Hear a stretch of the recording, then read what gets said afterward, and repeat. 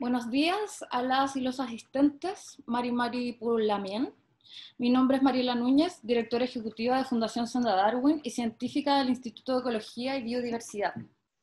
Esta actividad se enmarca en el programa de difusión de la ciencia, Conciencia Ciudadana, iniciativa de la Fundación Senda Darwin, localizada en la isla grande del archipiélago de Chiloé, eh, región de los lagos, en colaboración con Fundación Omora, localizada en Isla Navarino, región de Magallanes y Antártida chilena, y el Instituto de Ecología y Biodiversidad de Alcance Nacional. Esta iniciativa nace en octubre del año 2019, luego del estallido social, debido a la crisis socioecológica que sufre actualmente nuestro país. Chile tiene una deuda histórica con nuestros pueblos originarios, nuestra matriz. La gran mayoría de los chilenos venimos de, de ahí, tenemos sangre araucana presenta enormes desigualdades en el acceso al agua, la alimentación, salud y educación, entre otros. A su vez, Chile basa su economía en la extracción de recursos naturales renovables y no renovables, que dejan enormes externalidades negativas en las regiones en donde se desarrolla. La gran minería en el norte de Chile, que contamina el aire y el agua, plantaciones de paltos que dejan sin agua a las comunidades locales, termoeléctricas que afectan la salud de los habitantes que respiran contaminantes altamente tóxicos y contribuyen al calentamiento de la atmósfera, la industria forestal con enormes extensiones de plantaciones de monocultivo de pino y eucaliptus desde el Maule a la región de los lagos que consume el agua, erosiona los suelos con prácticas de la raza y contamina el agua con sedimentos. En la zona sur, las salmoneras que contaminan el, el maritorio, entre otros. Bueno, un grupo pequeño de familias y transnacionales reciben grandes ganancias y los habitantes locales en regiones sufrimos de todas estas externalidades negativas, eh, se empobrecen, se enferman. Entonces uno se pregunta, ¿dónde está el Estado?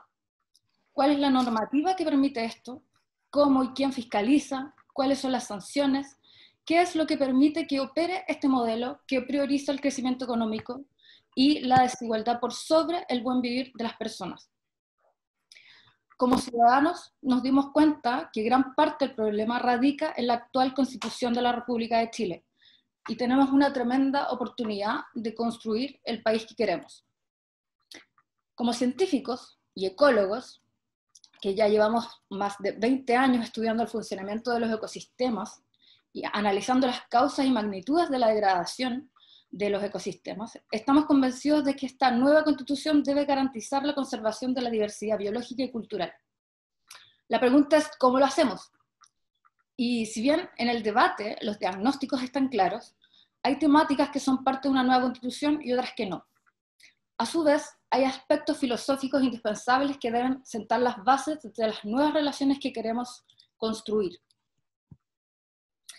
Es por esto que nos hemos unido diversos profesionales que estamos pensando en el nuevo país que queremos, desde distintas disciplinas, y conformamos un grupo de trabajo que tiene como objetivo, primero, generar una propuesta técnica para garantizar la conservación de la diversidad biológica y cultural en la nueva Constitución.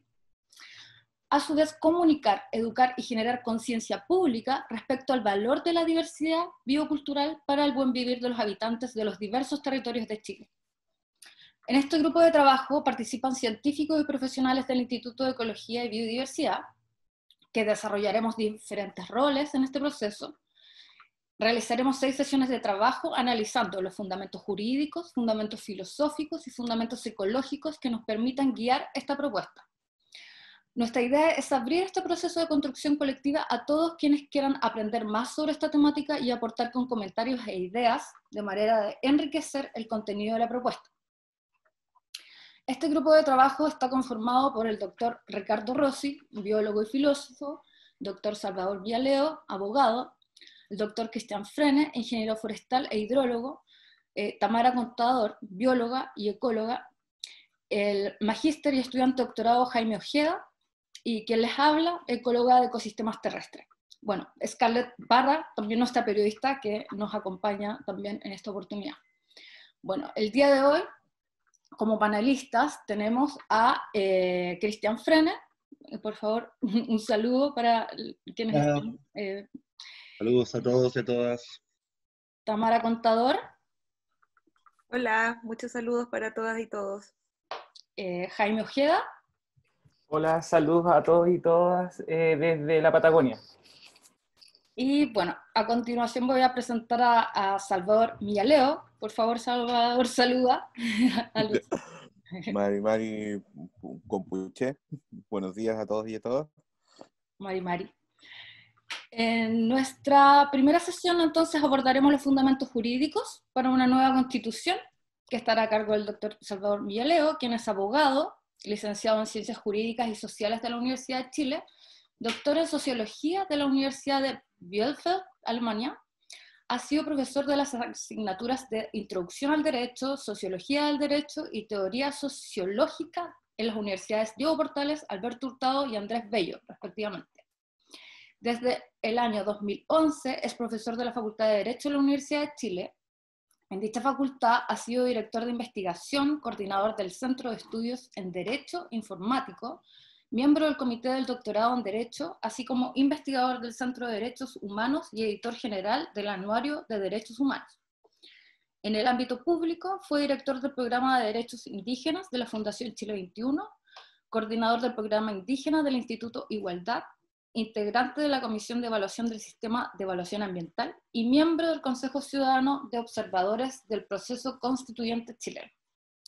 Fue designado como consejero del Instituto Nacional de Derechos Humanos por el Senado por un periodo comprendido entre el 2 de julio del 2019 y el 2 de julio del 2025. Entonces, eh, dejamos a continuación a nuestro expositor. Muchas gracias, Salvador, por participar y bueno, estamos atentos a escucharte y posteriormente haremos una ronda de preguntas entre los panelistas y también daremos la oportunidad para comentarios de los espectadores. Bueno, eh, buenos días, ¿me escuchan bien? Sí. Bueno, eh, bueno, agradezco mucho esta oportunidad. Yo creo que eh, los temas que ustedes están planteando muestran uno de los grandes desafíos y nudos de nuestro sistema constitucional y de derechos humanos. Esto es que eh, tenemos reglas, tenemos principios a nivel internacional y a nivel, digamos, interno, y sin embargo estas reglas y principios no eh, dan o no alcanzan a dar cumplimiento a las necesidades básicas de las personas y eh, tampoco logran entender la necesidad o digamos la relación de las personas con la naturaleza. Eh, esto digamos que es común a muchos sistemas jurídicos, nuestro sistema está exacerbado debido al tipo de modelo económico y político que hemos implementado, o sea, un modelo económico basado en la intensidad de la extracción de recursos naturales y un modelo político que no se basa, digamos, que excluye, digamos, o que incluye, eh, para ponerlo en positivo, eh, que incluye en porciones muy limitadas de participación ciudadana eh, y por lo tanto de responsabilidad de los gobernantes respecto de los gobernados. Este modelo, digamos, ha sido o está mostrando su incapacidad para satisfacer necesidades humanas más básicas, digamos, en amplio registro, y eh, por cierto que es incapaz de ver esta comprensión eh, que es nueva y no lo es, o sea, es nueva en el sentido que eh, está creciendo, digamos, ampliamente la idea de que no somos los dueños de la naturaleza, sino que somos unos seres naturales más dentro de un conjunto de seres interrelacionados, en, el gran ámbito de la vida. Y eh, esta comprensión, como les decía, tampoco es tan nueva, sino que más bien ha sido una eh, visión tradicional de muchos pueblos, en particular de los pueblos indígenas, pero que han sido reprimidos y relegados en la medida que han sido dominados por el colonialismo y por el racismo que se mantiene hasta el día de hoy. Entonces, eh, tenemos este espectro y frente a este espectro, grupos como este y todas las iniciativas que se planteen van a ser necesarias para poder correr los marcos de lo posible. Yo creo que un constitucionalismo ideológico, o sea, un constitucionalismo ecológico, eh, es la, la, base necesaria para eh, destrabar todos estos obstáculos ideológicos de la constitución de 1980. Quería compartirles con ustedes una presentación. Eh, voy a proceder. No, pues digamos, pasemos derechamente. Lo que hace nuestra constitución eh, actual es hipostasiar, es, digamos, llevar al máximo una tendencia de generar el derecho moderno, que es en el fondo consagrar o sacralizar la propiedad. La idea es que eh, lo que ha hecho nuestro derecho moderno es transformar a la naturaleza o concebir a la naturaleza en una naturaleza muerta, que es apropiable y que transforma esta otras visiones de naturaleza, como una naturaleza imponente, sublime, que rodea, digamos, y que vivifica a los seres humanos, en una naturaleza básicamente a disposición de ellos. Aquí el antecedente más importante, el Código Civil de Napoleón de 1804, que dispone la plena apropiación, la libre cesión y transformación sin traba del entorno natural, salvo ciertos elementos que son los llamados eh, bienes comunes, que, o que la naturaleza ha hecho común a todos los hombres, donde el paradigma es el alta mar, o sea, bienes que no son apropiables ni por estados ni por individuos, digamos, eh, en principio. Ahora, la, como les dije, la, el fundamento de esto, la idea subyacente es que la propiedad es el más absoluto de todos los derechos y por lo tanto tiene extensiones que son ilimitadas salvo por otras propiedades. Eh, la idea es que la propiedad confiere atributos que, para que los sujetos puedan disponer de ella eh, en cuanto a que pueden enajenarla, es decir, entregársela a otro o destruirla, digamos, disponer física, eh, materialmente en el sentido de acabar con ella o permitir su degradación. también involucra la libre circulación, esto es que se mantenga siempre el uso más intensivo, porque le otorga un mayor valor. Esto es, si una persona no quiere seguir usando una determinada propiedad, puede, como un bien inmueble, digamos, que es la característica o condición genérica de eh, la tierra, digamos, como bienes de explotación, si alguien no quiere seguir usando la tierra o le da menos valor, puede traspasársela por una venta, digamos, alguien que le da más valor en el libre mercado. Y luego eh, la libre transformación, es decir, que podemos a partir de la extensión de la propiedad transformar la estructura misma de la vida, digamos, eh, a través de la operación tecnológica y nos podemos apropiar de esto también a través, por ejemplo, de los derechos de la propiedad eh, intelectual. Eh, un eh, pensador belga, François Oz, va a implicar, o va a señalar, digamos, que esto va a implicar la eh, absoluta pérdida del vínculo que tenemos como seres humanos con la naturaleza y de los límites que tienen que tener o que tienen que guardar las actividades humanas respecto de los entornos naturales. Eh, esto, digamos, eh, ha incorporado otros fundamentos que son muy populares, por ejemplo, la idea de la tragedia de los comunes. Las formas comunes de administrar los eh, entornos naturales por los seres humanos han tenido un cambio radical en la modernidad, donde se pasa de formas de tenencia comunitarias de la tierra a la forma que conocemos hasta el día de hoy de propiedad privada donde había derechos múltiples y que se restringían entre sí o se limitaban entre sí, se pasó a tener derechos exclusivos, es decir, excluyendo la multiplicidad de derechos sobre el mismo inmueble o la misma mismo bien raíz donde había derechos que eran relacionales, es decir, donde se necesitaba una relación de un sujeto con otro, por ejemplo, de un sujeto con acuerdo, de un cuerpo colegiado, de un ayuntamiento, en fin, de una comunidad, se pasó a derechos privados excluyentes, donde un individuo puede excluir a otros del uso de determinado bien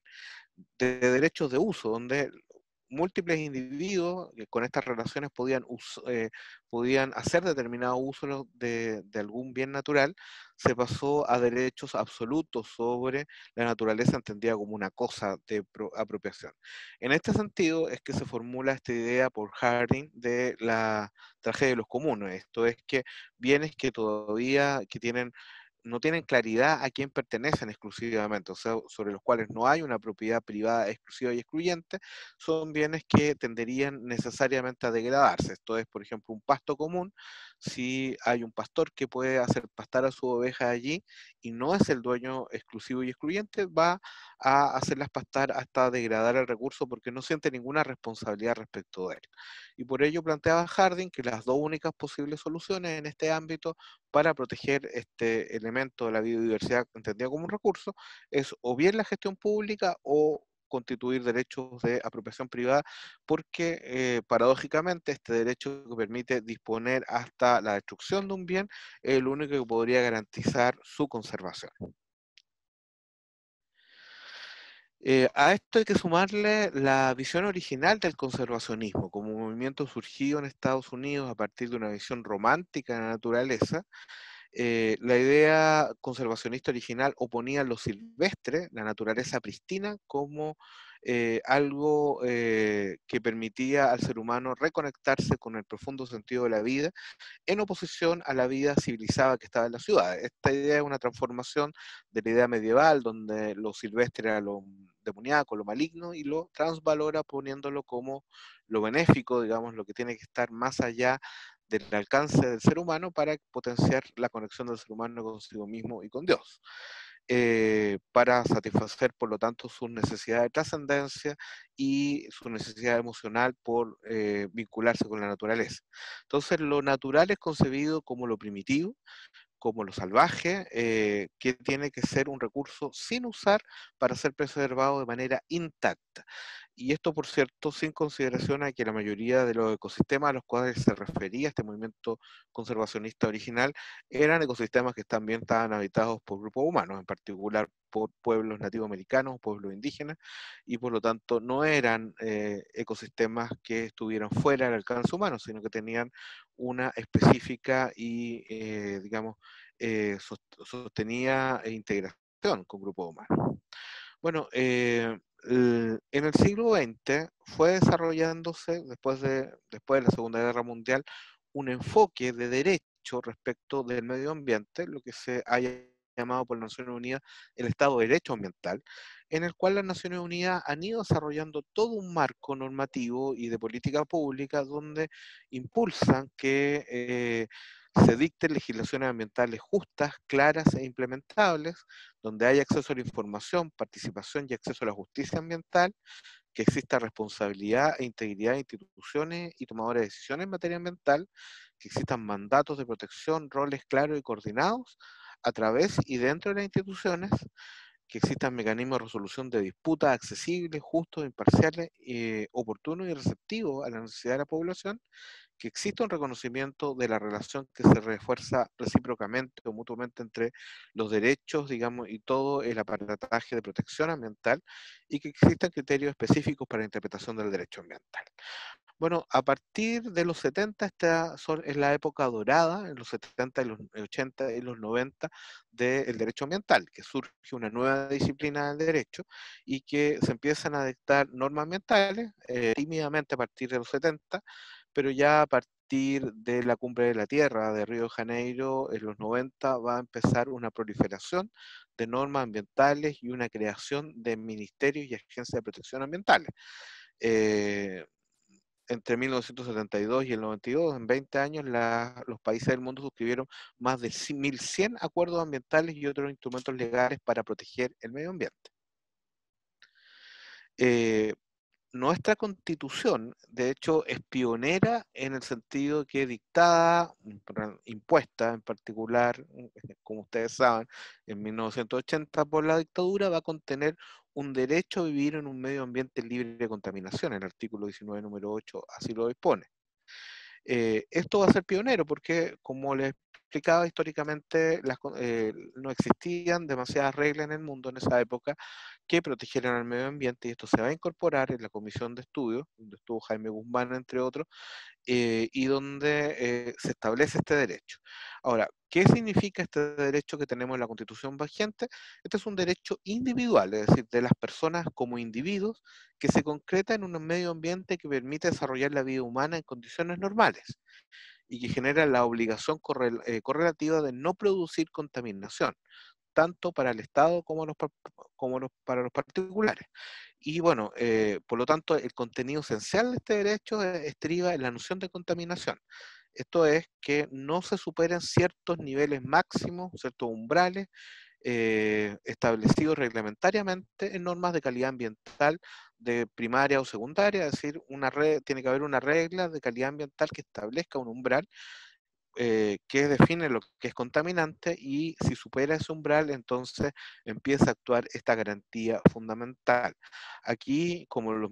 mismos redactores lo reconocen, no se considera la preservación o cautela del patrimonio artístico, cultural y del paisaje, los patrimonios naturales, ni se refiere a valores ecológicos de preservación o conservación del patrimonio eh, natural. Entonces, esos elementos están excluidos. Ya vamos a ver que esto es una forma en la cual se ha consagrado un derecho que está consagrado en eh, una buena cantidad de constituciones en el mundo, pero una forma limitada de protección. Eh, la verdad, a través eh, en el mundo, eh, como les señalaba, a partir de los 70 empieza un desarrollo muy importante de protección del medio ambiente desde la Declaración de Estocolmo en 1972 y desde esa década se ha crecido rápidamente en los derechos fundamentales, humanos y constitucionales relacionados con el medio ambiente. En 1946 no había ninguna constitución que los preveyera, pero en 2012 el 66% de las constituciones ya incorporaban derechos ambientales.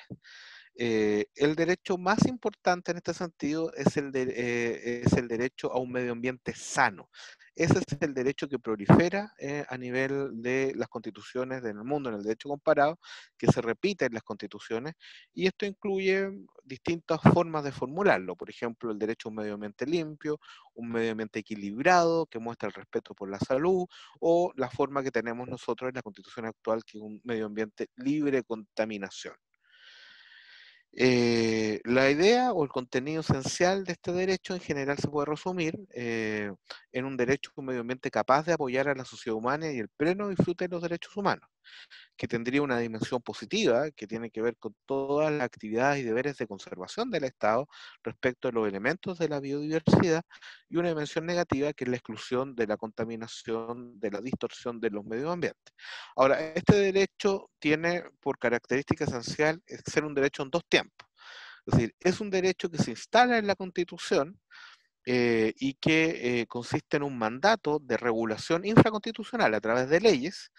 pero que normalmente este derecho, o rara vez este derecho va a producir un efecto inmediato en la vida de los ciudadanos. Para eso se requiere un segundo tiempo, que es que en las leyes se, se eh, concretan los mandatos constitucionales y se establezcan las condiciones de su exigibilidad jurídica específica. Eh,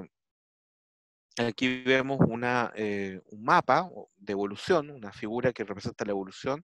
del derecho a un medio ambiente sano, si uno compara 1972, pocos países lo tenían. En América Latina el pionero es Paraguay, eh, está Alemania, está Australia, en fin, y esto va a ir variando. 20 años después uno ve ya una serie de países que tienen este derecho y el 2017 uno ve que la gran mayoría de los países tienen alguna forma de derecho a un medio ambiente sano. El ejemplo típico uno lo puede establecer eh, en, mirando la Constitución de Noruega, que señala en su artículo 112 que toda persona tiene derecho a un medio ambiente propicio para la salud y a un entorno natural cuya productividad y diversidad se preserven. Los recursos naturales deben utilizarse sobre la base de condiciones integrales a largo plazo eh, por las que este derecho debe ser salvaguardado también para las generaciones futuras. Esta es una de las formulaciones más amplias del derecho al medio ambiente sano. Eh, como les decía, el medio ambiente sano incluye el, derecho al medio ambiente libre de contaminación, pero no se reduce a eso. El derecho al medio ambiente libre de contaminación es una forma eh, limitada del derecho al medio ambiente sano, que se traduce, como les explicaba, simplemente en prohibir, en limitar, en garantizar que no se superen ciertos niveles. Eh, pero pierde todo el ámbito positivo que puede tener el derecho al medio ambiente sano, que son los mandatos de preservación, de conservación, de armonización para la salud, en fin, y de respeto por las generaciones futuras, como uno lo ve en la Constitución de Noruega. En Chile solamente existe un derecho eh, al medio, eh, a, eh, evitar la contaminación, y en segundo lugar es un derecho individual de los individuos, no está considerado como un derecho de los colectivos, del país, de las comunidades, en fin. Bueno, eh, como les decía, el derecho al medio ambiente sano, eh, en todas sus formulaciones, está contemplado en más de 100, en la constitución de más de 100 países. Eh, en al menos 12 países hay formulaciones que derivan de la, de la actividad de los tribunales, es decir, la jurisdicción, los tribunales, aunque no exista una formulación constitucional, ellos han construido un derecho al medio ambiente y entonces sumando y restando, aparte hay muchos países que tienen eh, otros estándares que establecen deberes, aunque no derechos. Entonces, sumando, eh, uno podría plantear que al menos 155 países tienen algún eh, nivel de protección al medio ambiente. en instrumentos jurídicamente vinculantes, ya sea porque lo incorporan a nivel nacional o porque han ratificado acuerdos a nivel internacional. Eh, además de eso, hay un conjunto de declaraciones no vinculantes que incluyen al derecho a un medio ambiente sano, como la declaración de Malé o la declaración de derechos humanos de las asociaciones de la Asociación de Naciones de Asia Sudoriental. Entonces, también tenemos elementos que se llaman el derecho internacional de soft law. Ahora, este, este estándar, pues, el estándar global de protección del medio ambiente en la Constitución, eh, ha sido defendido durante décadas en virtud de que tendría efectos benéficos en cuanto ha generado leyes y políticas ambientales más sólidas, o sea, este ha sido el correlato de esta explosión del derecho ambiental, eh, que, ha permitido, que han permitido una mejor implementación y cumplimiento de eh, la protección ambiental, sobre todo cuando la formulación es más amplia que en el derecho constitucional chileno, que permiten mayor participación ciudadana en la toma de decisiones, mayor responsabilidad estatal y de los particulares, la reducción de la injusticia ambiental, la igualdad de condiciones con otros derechos económicos, sociales y culturales y un mejor comportamiento medioambiental de los países. Ahora bien, existen un sinnúmero de detractores de esta formulación habitual en las constituciones que señalan que es un derecho demasiado vago para ser útil que es redundante, es decir, que no, la verdad eh, basta con, si eh, debido a que este derecho no introduce estándares muy elevados, basta con que existan leyes ambientales e incluso con los derechos humanos existentes, como el derecho a la vida y a la salud para proteger el medio ambiente sin necesidad de un derecho específico tan vago como este. Eh, de alguna manera también le da mucho poder a los jueces en el sentido de que puede, o, algunos legisladores en el sentido de que dejan mucho a la decisión posterior para ver cuál es el estándar específico de protección, no a, la, no a lo que está en la misma constitución. Y la crítica más, bueno, que puede haber una avalancha de litigios, lo que solo en cierto en parte, o sea, ha generado la posibilidad de acceder a los tribunales de justicia a través de acciones de protección del medio ambiente, pero la crítica más importante es que no es un derecho ejecutable y que lo más probable, y eso es lo más habitual, es que es ineficaz, que por lo tanto integra eh, este célebre conjunto de los llamados derechos constitucionales de papel o, en el mejor de los casos, cláusulas dormidas, que necesitan ser despertadas por, por una acción particular posterior, pero que no tiene una eficacia directa por sí misma hay algunas variaciones de, este modelo que son relevantes. Eh, el modelo de deberes de la constitución alemana es un modelo interesante porque eh, formula esto como un deber del Estado de, eh, en cuanto a su responsabilidad con las generaciones futuras la responsabilidad del Estado de proteger los fundamentos naturales de la vida a los animales a través, digamos, de todas las ramas del Estado. Entonces, eh, no solo lo concibe como un derecho, sino que eh, el anclaje fundamental en la visión alemana y se trata de un deber del Estado que tiene un, un espectro muy amplio. Otra variación, que es una variación que ha sido impulsada por el mundo de la sociedad civil, es sobre todo el modelo de la justicia ambiental. El modelo de la justicia ambiental se ampara en un modelo mucho más básico que el derecho al medio ambiente, un derecho de primera generación en cuanto a los derechos humanos, que es el del principio de igualdad y la no discriminación. A partir de esta idea surge un concepto que se desarrolló primero en Estados Unidos a partir de la lucha de los derechos civiles contra el racismo, que es la idea de racismo ambiental. La idea de racismo ambiental predica que en virtud de las líneas étnicas eh, de división y de discriminación, los grupos más vulnerables, grupos racialmente dominados, soportan normalmente más cargas ambientales que los grupos dominantes. Entonces, en concreto significa que los vertederos, los basureros están en las comunidades afroamericanas, en el caso de Estados Unidos, por ejemplo,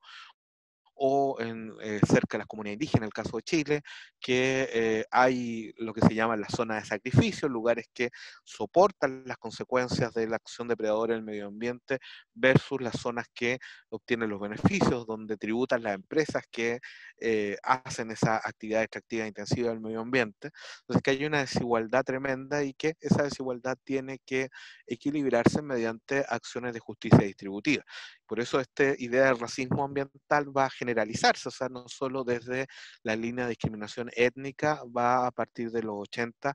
eh, a, entenderse, sobre todo en los 90, eh, como un principio de justicia ambiental, es decir, que involucra la justa distribución de las cargas y las acciones de protección del medio ambiente entre todos los grupos sociales, pero siempre va a tener un foco más específico con los grupos más vulnerables en la sociedad, que son los más afectados eh, casi siempre por los daños ambientales eh, y que, por ejemplo, incluyen los refugiados climáticos, ahora las comunidades que sufren más inmediatamente el efecto del cambio climático, eh, eh, en fin, pero también tiene una mirada de lo que se llama la justicia intergeneracional, es decir, la idea de que las generaciones presentes tienen deberes respecto a generaciones que todavía no están y que, por lo tanto, la justicia no solo es algo que tenga que reflejarse en el estado actual de la situación, sino pensando en cómo en qué mundo van a encontrar las generaciones futuras. Eh, también aquí hay un elemento interesante que, plantea que los derechos eh, que están concernidos acá, los derechos fundamentales, los derechos humanos, no solo tienen que ser respetados eh, por el Estado, sino también por eh, particulares, eh, en, concreto particulares que tengan un gran poder social. Y esta ha sido la, idea de las empresas. Las Naciones Unidas ha desarrollado principios para el cumplimiento de derechos humanos por las empresas, para su responsabilidad dentro de la protección de derechos humanos, y esto incluye una serie de deberes, digamos, de protección, conservación del medio ambiente. Ahora bien, uno de los elementos de esta eh, de este enfoque de, derechos, que es un enfoque eh, antropocéntrico, es decir, de derechos de los humanos, es eh, uno de los elementos problemáticos es el tema de los recursos naturales, porque los recursos naturales, eh, digamos, es que así como se han procesado los elementos más importantes de la biodiversidad, se han, también han tenido normas especiales de protección a nivel constitucional o legal en diversos países, cuando son considerados recursos, sobre todo recursos estratégicos, es decir, que tienen importancia económica o de seguridad para esos países. Y eh, muchos países por ello han proclamado como una consecuencia la autodeterminación de los pueblos la soberanía permanente sobre los recursos naturales. Ahora, esto significa que los, los pueblos son dueños de estos recursos y tienen que decidir cómo gestionarlos y cómo protegerlos. Y allí, eh, digamos, los sistemas de protección siempre han oscilado entre la gestión pública o la gestión privada. Ahora bien, aquí también hay otras modalidades que se han ido implementando respecto a la protección de recursos naturales, que son modalidades que en virtud de estas, estos polos, digamos, han encontrado nuevas formas de gestión. En particular la idea de eh, los bienes nacionales de uso público, es son bienes que respecto de los cuales el Estado tiene una particular protección, pero que pertenecen a todo, a todo el país, a toda la nación, y que son usados de alguna manera por todos. Pero esto involucra restricciones en cuanto a la propiabilidad y en cuanto a la posibilidad o alcance de los usos que se puedan hacer de ellos. Después está todo el enfoque de patrimonialización, es decir, entender que es un patrimonio y que por lo tanto algo que tiene que transferirse o transmitirse de una generación a otra, habiendo restricciones, las posibilidades de usar o disponer de eso, y esto sea esto independientemente que esté en manos o en propiedad pública o en propiedad privada. Y otro elemento son ciertos derechos de propiedad no extractivistas. ¿Qué significa la propiedad no extractivista? Son derechos de propiedad cultural o propiedad que no está basada en los elementos de la propiedad privada, es decir, son modelos de propiedad que tienen un cierto margen de exclusión y control, pero no de la misma manera que la propiedad privada. Y este es el modelo de los derechos bioculturales, que derechos que asisten colectivamente a eh, un grupo social determinado y que le otorgan un control, pero ese control no es el mismo que eh, los modelos que, que implica la propiedad privada. Eh, eh, el modelo o el paradigma de estos derechos eh, bioculturales son los derechos de guarda ambiental que tienen, de cuales están intitulados los pueblos indígenas. Los pueblos indígenas, en virtud del derecho a la autodeterminación que tienen, tienen el derecho a gobernarse a sí mismos y en virtud de ese derecho una de las consecuencias es el control de los recursos que están vinculados a sus formas de vida. Eh, entiéndase, digamos, los espacios o ecosistemas con los cuales están vinculados a partir de sus cosmovisiones y filosofías naturales. Eh, esto es lo que se ha llamado o lo que se concibe en el derecho internacional de los derechos humanos como el vínculo espiritual entre los pueblos indígenas y sus territorios. El vínculo espiritual que no es el mismo vínculo del derecho romano occidental, que es un vínculo de utilización y de señorío. El vínculo espiritual se refiere más bien a las concepciones que tienen las filosofías indígenas de eh, considerar la naturaleza holísticamente, es decir, como un conjunto global, integrado, donde los seres humanos son plenamente parte, donde todos los elementos están interrelacionados, donde son interdependientes y en virtud de ellos tienen relaciones de reciprocidad. Reciprocidad significa que tienen, eh, existen derechos y deberes recíprocos que se deben entre sí todos los elementos que forman parte de la naturaleza, es decir, los humanos con la, la, la madre naturaleza o con los elementos que forman parte de ella. Y esto significa poder justificar que la madre naturaleza, como la Pachamama, por ejemplo, o Mapuñuque tienen derechos por sí misma respecto a los humanos, o que algunos de los elementos de ella tienen derechos, como los animales, las plantas eh, y ciertos ecosistemas específicos. Bueno, la autodeterminación de los pueblos indígenas se traduce en sistemas de tenencia tradicional de, de las tierras, de los territorios indígenas, pero por sobre todas las cosas en sistemas de gobernanza y control territorial propio del pueblo indígena, es decir, más allá de la explotación propia directa que hagan los pueblos indígenas de un cierto ecosistema y de sus elementos, eh, eh, lo fundamental de, esta, de la autodeterminación respecto de la naturaleza es que otorga poderes de control respecto a un territorio determinado. Y este, estos poderes de control, digamos, no son eh, no son, eh, no son completamente excluyentes, es decir, excluyen ciertos usos, usos que van en contra de las cosmovisiones de los pueblos indígenas, es decir, que van en contra de esta idea de interrelacionalidad, interdependencia, reciprocidad, es decir, excluye los usos eh, más nocivos y degradantes de eh, los recursos naturales, pero no excluye otros usos ni siquiera otros usos de otros que no sean indígenas, ni tampoco excluye las competencias estatales. La, autodeterminación de los pueblos indígenas no es exclusiva o excluyente, a diferencia de la noción occidental de autodeterminación, sino que es un modelo de soberanía compartida, donde el poder soberano es compartido por los pueblos indígenas con los estados en sus distintas formas de organización política. Entonces, esto significa que para cualquier uso en los territorios indígenas de recursos naturales se requiere el consentimiento de los pueblos indígenas, la participación en los beneficios de esto por los pueblos indígenas y, sobre todas las cosas, respetar los sistemas de gobernanza y control territorial, es decir, la regulación propia que los pueblos indígenas hagan de respecto a esos territorios. Ahora, eh, esto tiene la relevancia de que, de acuerdo a, bueno, el Comité de Expertos Público-Privado, de eh, cambio climático, en su informe, el informe IPBES, eh, en años recientes, ha establecido que bueno, el 80% de la biodiversidad en la Tierra está en territorios que son indígenas y que en esos territorios se puede eh, verificar que la pérdida de biodiversidad que es global es, es más lenta que en territorios que no son indígenas. Y esto es básicamente debido a la relevancia de los conocimientos ecológicos tradicionales y, cómo estos eh, preparan o generan ciertas formas de resiliencia climática especial para los pueblos indígenas, pero que también puede ser compartido por otro tipo de comunidades, como las comunidades afrodescendientes o las comunidades agrícolas tradicionales que también tienen conocimientos ecológicos tradicionales similares y que permiten estas formas, eh, digamos, robustecidas de resiliencia climática ambiental.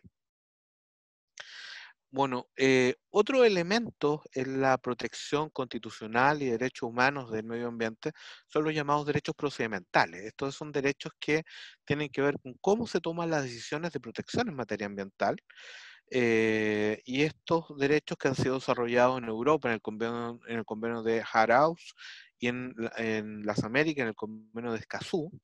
eh, son lo- clásicamente los derechos de participación ciudadana en los planes, programas y políticas ambientales, los derechos de acceso y difusión de la información y el derecho a la tutela o, digamos, al acceso a la justicia ambiental. Bueno, eh, esto es, son partes, son modulaciones de los enfoques antropocéntricos, son enfoques que han ido evolucionando desde el derecho ambiental, es decir, regulaciones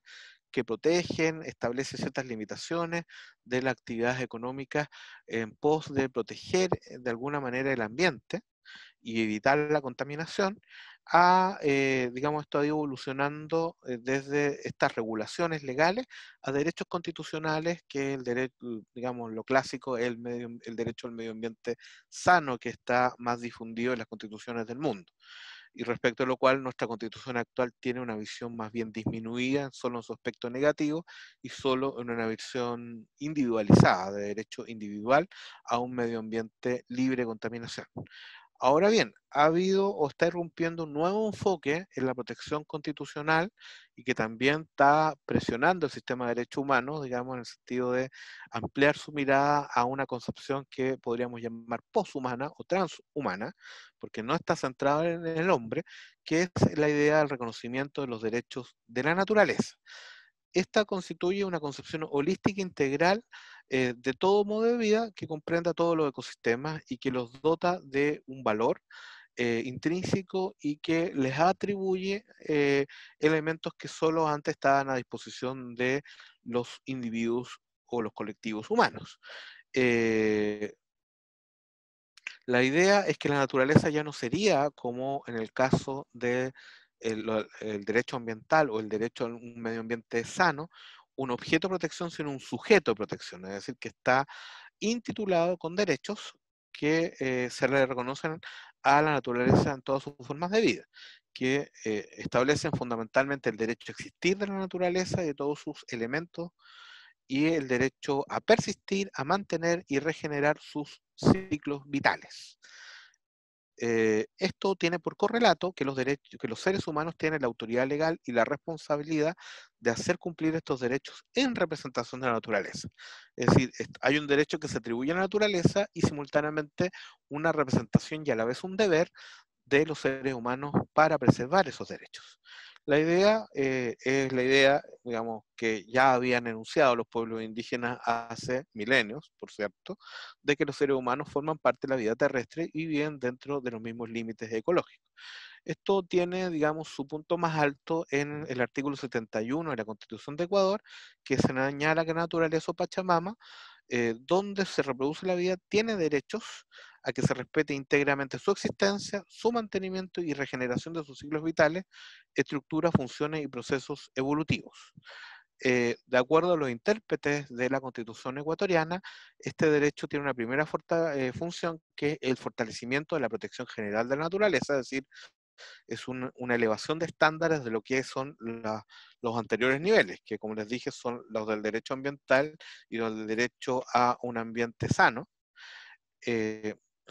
en, una segunda función, se espera que este reconocimiento brinde a los ambientalistas, a los defensores de la naturaleza, mayores posibilidades de procedimientos legales en nombre de la naturaleza, especialmente contra la administración estatal.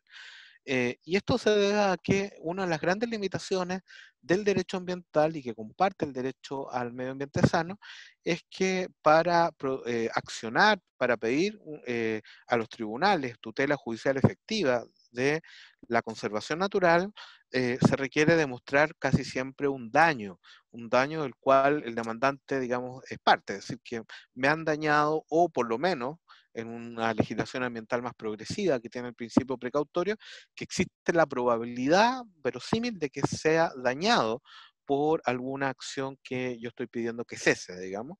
Eh, pero tengo que justificar que yo tengo un interés comprometido, el, que actúa. Eh, en virtud de esto, no tengo que justificar esta, situación, porque lo, que, lo que estamos preservando, lo que queremos evitar es el daño a la naturaleza en su conjunto. Y sin, sin que sea relevante que ese daño me afecte eh, de manera inmediata a mí, digamos, como representante de la naturaleza. Por eso esto amplía las posibilidades de protección de la naturaleza. Bueno, y una tercera función, por cierto, es que eh, se genera una importancia mayor de los intereses ambientales dentro de los procesos de políticas públicas, donde se diseñan los programas de conservación, digamos, de educación ambiental. Bueno, como les dije, como les decía, aquí está un elemento que es el derecho a la existencia en la naturaleza y de cada uno de los elementos de la biodiversidad, un derecho a la reparación y restauración de los ciclos naturales, es decir, se reconoce que la naturaleza tiene, ciclos, tiene formas de regeneración y esto cuando son eh, dañados, cuando son intervenidos,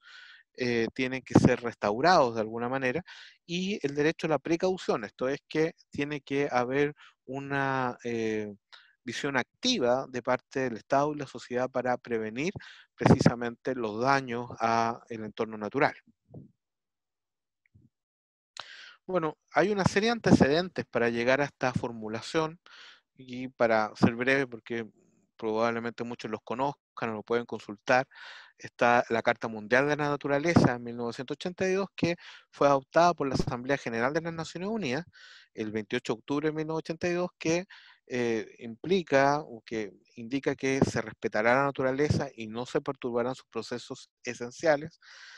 eh, que no se amenazará la viabilidad genética de la Tierra, la población de todas las especies silvestres y domesticadas,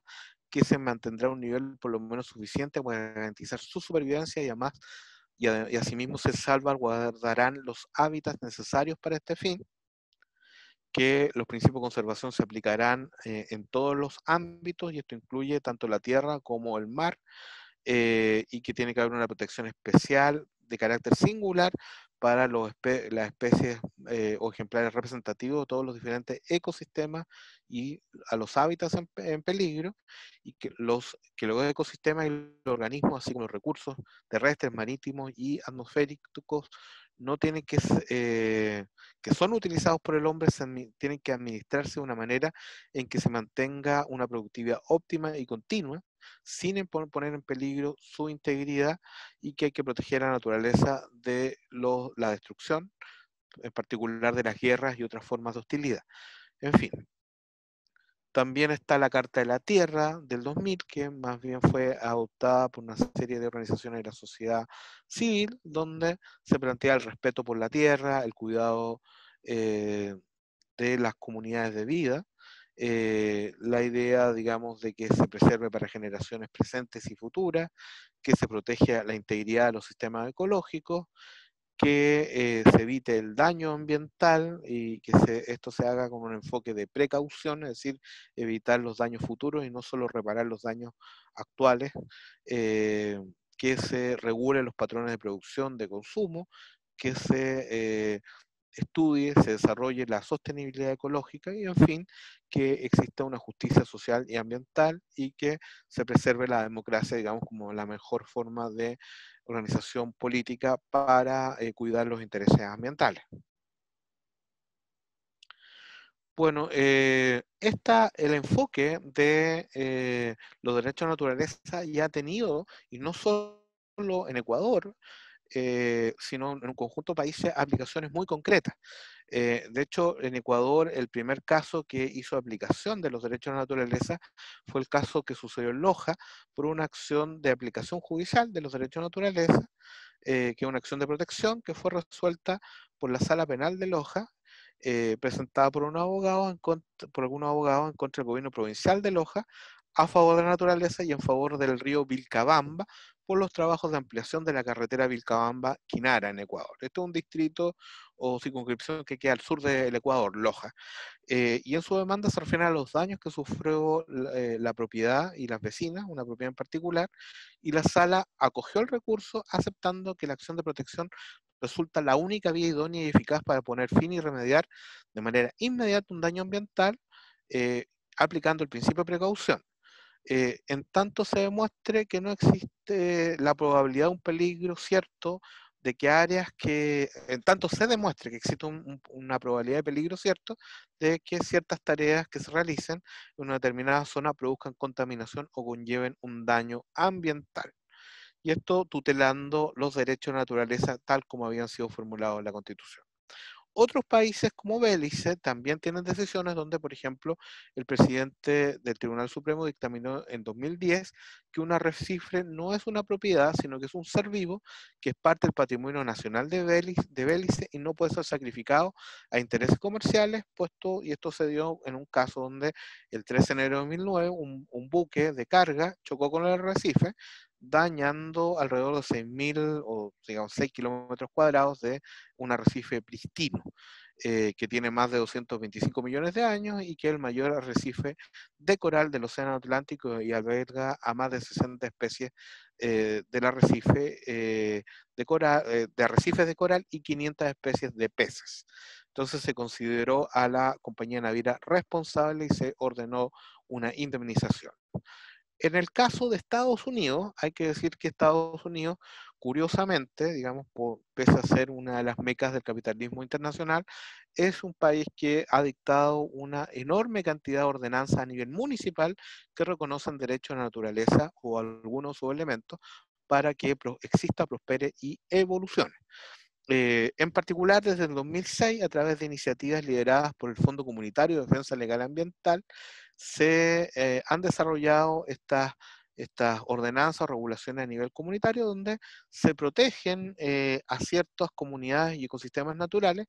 incluyendo el derecho al agua, eh, de tal manera que, digamos, ciertos, por ejemplo, pantanos, ciertos humedales, ciertos ecosistemas, se les intitula con derechos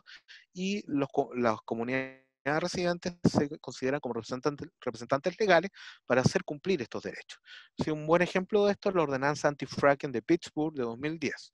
Eh, un caso muy interesante, reciente, es la Declaración de Derechos Lago Erie de 2019, donde eh, se estableció eh, que el lago Erie, que está en Toledo, Ohio, es una entidad que tendría derecho a florecer y de tal manera que digamos, la, los problemas que están sufriendo los residentes de, ese, de esa zona, donde eh, eh, tienen, digamos, una alimentación de agua que proviene de ese lago que no, está, siendo inestable, eh, para beber, beber o consumir, han reclamado en virtud de esta declaración de derechos, no derechos para sí mismos, sino derechos para el mismo lago.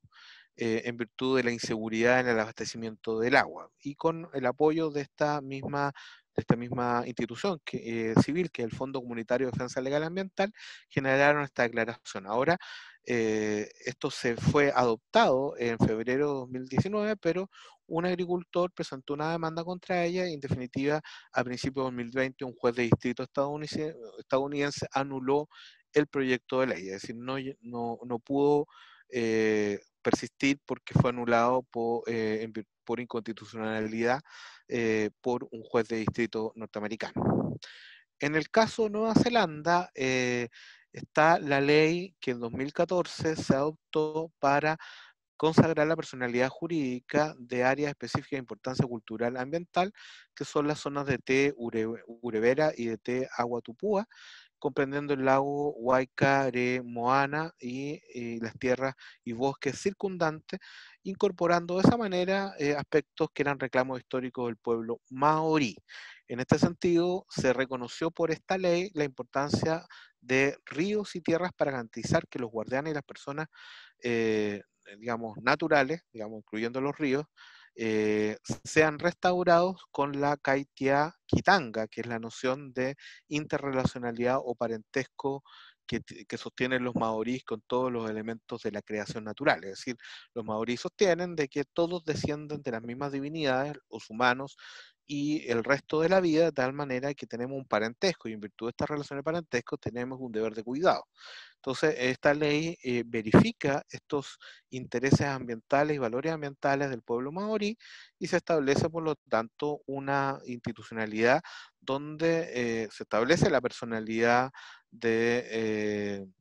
que está sobre el río Wanganui, que es esto, esta zona que se protege, y donde la zona de Agua Tupúa eh, eh, es, considerado un ente determinado jurídico con derechos y se establece una oficina, la oficina de Tupúa, que está compuesta por personas que tienen el deber de proteger eh, este ecosistema. Y son dos personas, una designada por la corona británica, digamos que, es la que es soberana sobre Nueva Zelanda, el otro por, los, por las IBI, que son las comunidades eh, maori. Bueno, las principales razones por las cuales estos ríos se han protegido es, para, eh, es porque se quiere dar expresión a los valores y proteger la relación de los pueblos indígenas con sus territorios ancestrales. Eh, se quiere elevar al río a una igualdad eh, en la ley o ante el derecho con los seres humanos, es decir, se recogen valores de ecocentrismo o biocentrismo para permitir que el río, digamos, eh, de alguna manera en sí mismo sus intereses sean considerados a la hora de todos los mercados de servicios de agua y la gestión de los ecosistemas. Esto es también, hay unas razones de lo que se llama ambientalismo mercado, un enfoque de administración de los ecosistemas eh, que, que, de alguna manera, eh, si los ríos son considerados con personalidad jurídica, eh, elevan la protección que tiene en esa gestión de mercado también,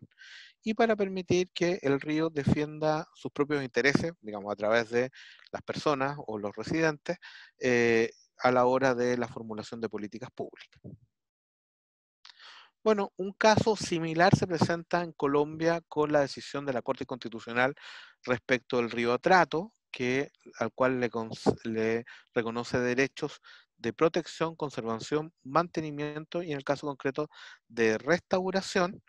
eh, señalando por la Corte Constitucional colombiana que las poblaciones humanas son interdependientes con el mundo natural y quieren asumir las consecuencias de sus acciones y omisiones con la naturaleza.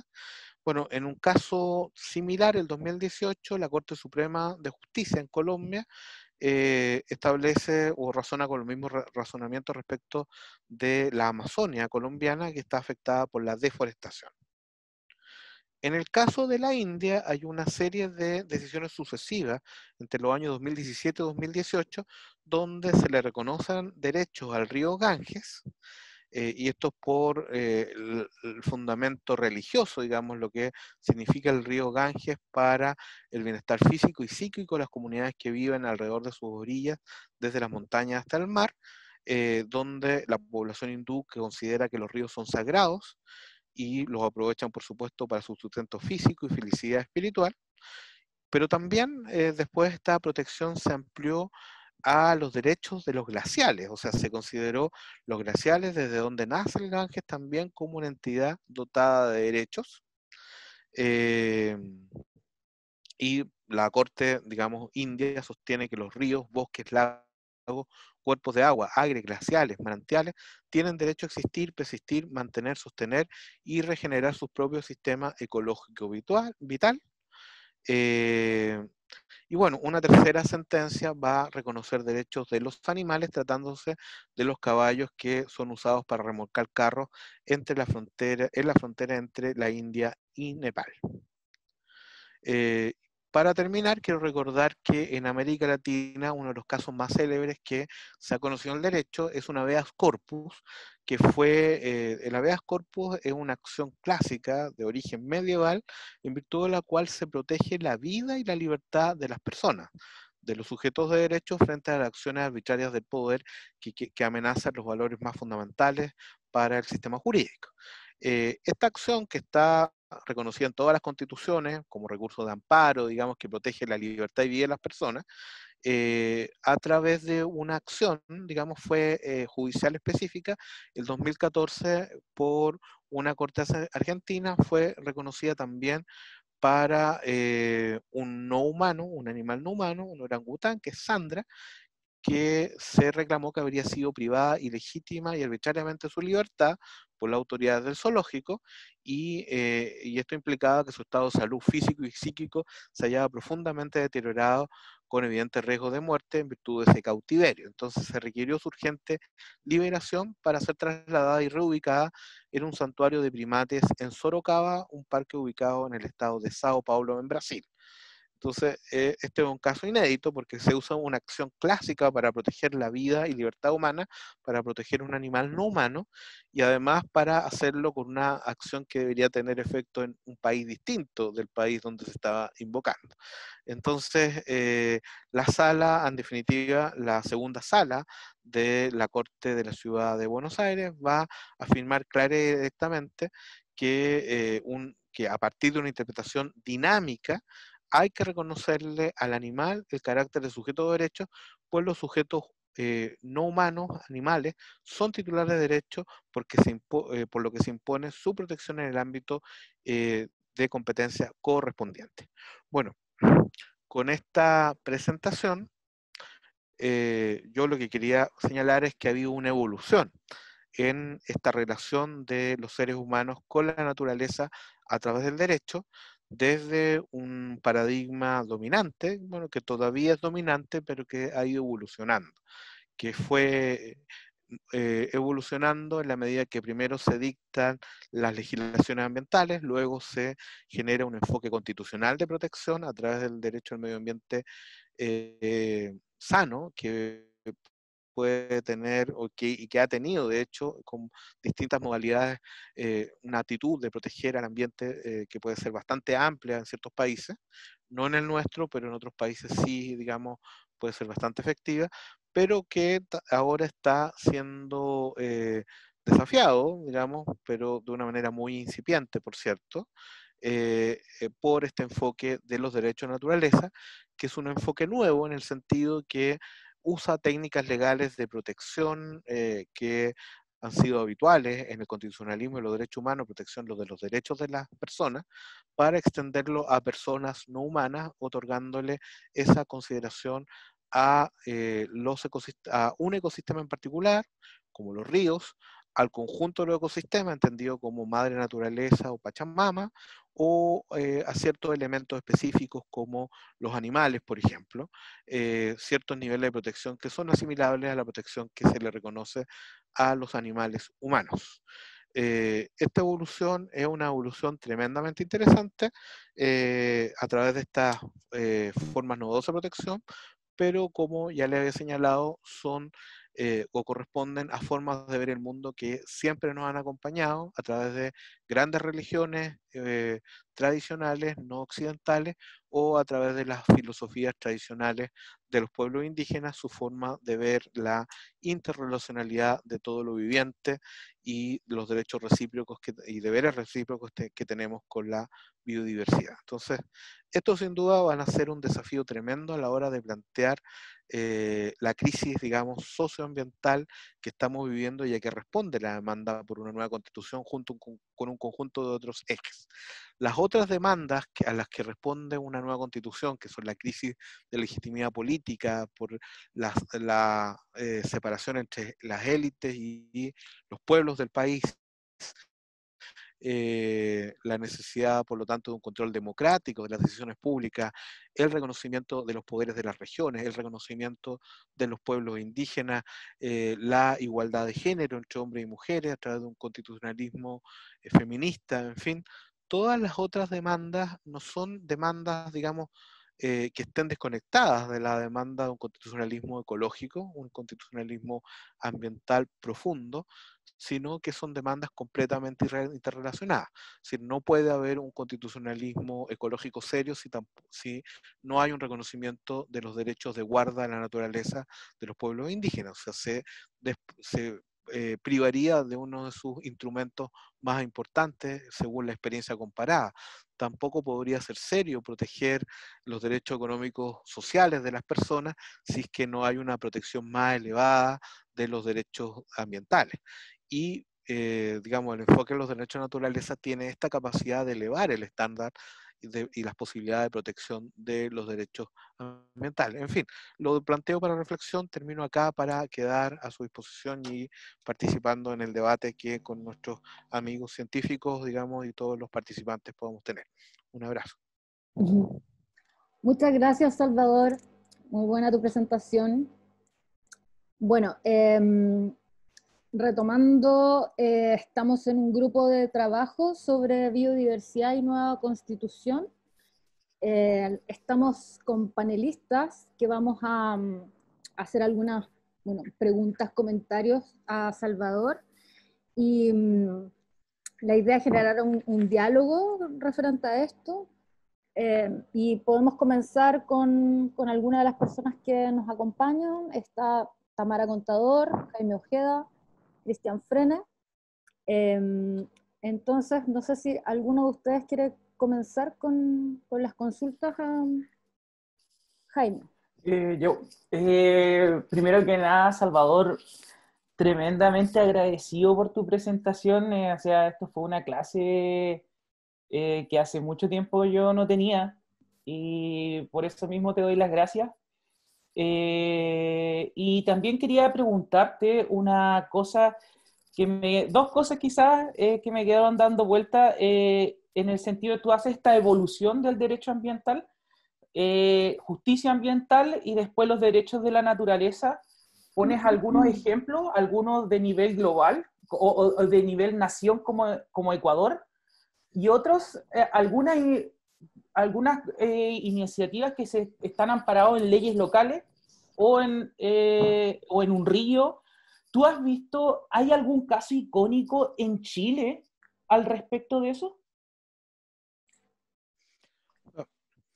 O sea, por lo que yo sé, eh, bueno, hay muchas iniciativas que están formulando esto, pero un caso judicial positivo no existe. Y respecto a casos rechazados, la verdad tendría que buscar, pero entiendo que no, que no ha habido, no ha habido una actividad judicial, pero eso tendría que confirmarlo, porque de repente sí la hay, pero, pero esto es, una, es un marco nuevo en Chile, de todas maneras. No ha habido una experiencia muy larga. Eh, sí, eso. Eh, lo otro que yo creo que una discusión para la futura constitución, un tema, cierto, de los problemas ambientales asociados a las empresas, eh, como tú relataste al principio, Mariela, y, pero otro tema que igual siempre me está en la cabeza, en mi cabeza asociado a lo que tú dices, Salvador, sobre la propiedad privada. Y muchas veces la propiedad privada se manifiesta en áreas protegidas, eh, donde una persona es un, un dueño de un área verde nativa de gran extensión y, que no es de uso comunitario, sino que es de un dueño que probablemente está en Santiago, eh, eh, etcétera, etcétera. Como una pregunta ahí es como, eso en el sentido de, yendo hacia los derechos de la naturaleza, igual eh, toca a la, a, la conservación hoy en día, creo yo. Eh, no sé cómo tú lo ves ese, ámbito, Salvador. Bueno, eh, en lo, básico de nuestra, o sea, si, si, una característica resaltante de nuestra constitución es que la propiedad privada es sacrosanta y enorme en el sentido de que no solo se tiene propiedad sobre cosas, también se tiene propiedad sobre elementos inmateriales, eh, y en virtud de ello la propiedad está exacerbada. Entonces, eh, este, esto en, la filosofía del derecho se le llama la propiedad el terrible derecho, eh, por sus consecuencias y, por, y sobre todo por la discusión y, fricción. Toda la historia del constitucionalismo en el siglo XX es tratar de cuestionar y limitar la propiedad. Eh, el constitucionalismo del siglo XX, desde la constitución mexicana, desde 1917, es establecer límites a la propiedad, lo que se llama la función social, el servicio social de la propiedad, que, y que ha permitido desde cosas tan diversas como, bueno, limitarla en virtud de leyes ambientales, como establecer paridad en, en, los gobiernos corporativos de las empresas. Todo ello en virtud del concepto de función social de la propiedad. Entonces, eh, uno de los elementos clave de nuestro país, por cierto, va a ser fortalecer este ámbito que está en la Constitución, pero que está muy restringido, es decir, darle más amplitud a esto. Pero también eh, otro desafío es eh, generar otras formas de eh, gestión que no sean propietarios, que no sean propietarias privadas. Es decir, por una parte está la gestión pública, que es la, eh, en el fondo todos los sistemas de protección de áreas silvestres y cómo éstas se gestionan eh, de una manera que sea participativa con las comunidades que son parte o que están comprometidas con ello. Luego está, por cierto, el sistema de la propiedad de los pueblos indígenas, o sea, en el fondo el reclamo de tierras ancestrales no es un reclamo que está estrictamente vinculado a la pobreza y por lo tanto a tener eh, recursos para de explotación para pueblos indígenas, sino que y así lo muestran, por ejemplo, las reivindicaciones de los espacios marítimos que eh, permite la ley de borde costero,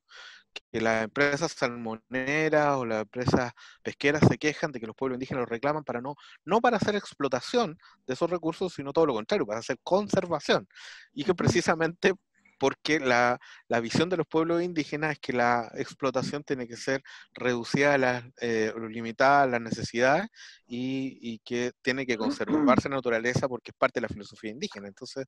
eso también es relevante, la protección de los pueblos indígenas y sus derechos también es un elemento de una propiedad privada, una propiedad no extractiva, una propiedad colectiva eh, de orientación ecológica, es otra forma. Y los otros son una serie de otros instrumentos que restauren esta idea que murió en la Edad Media eh, de los usos relacionales y compartidos.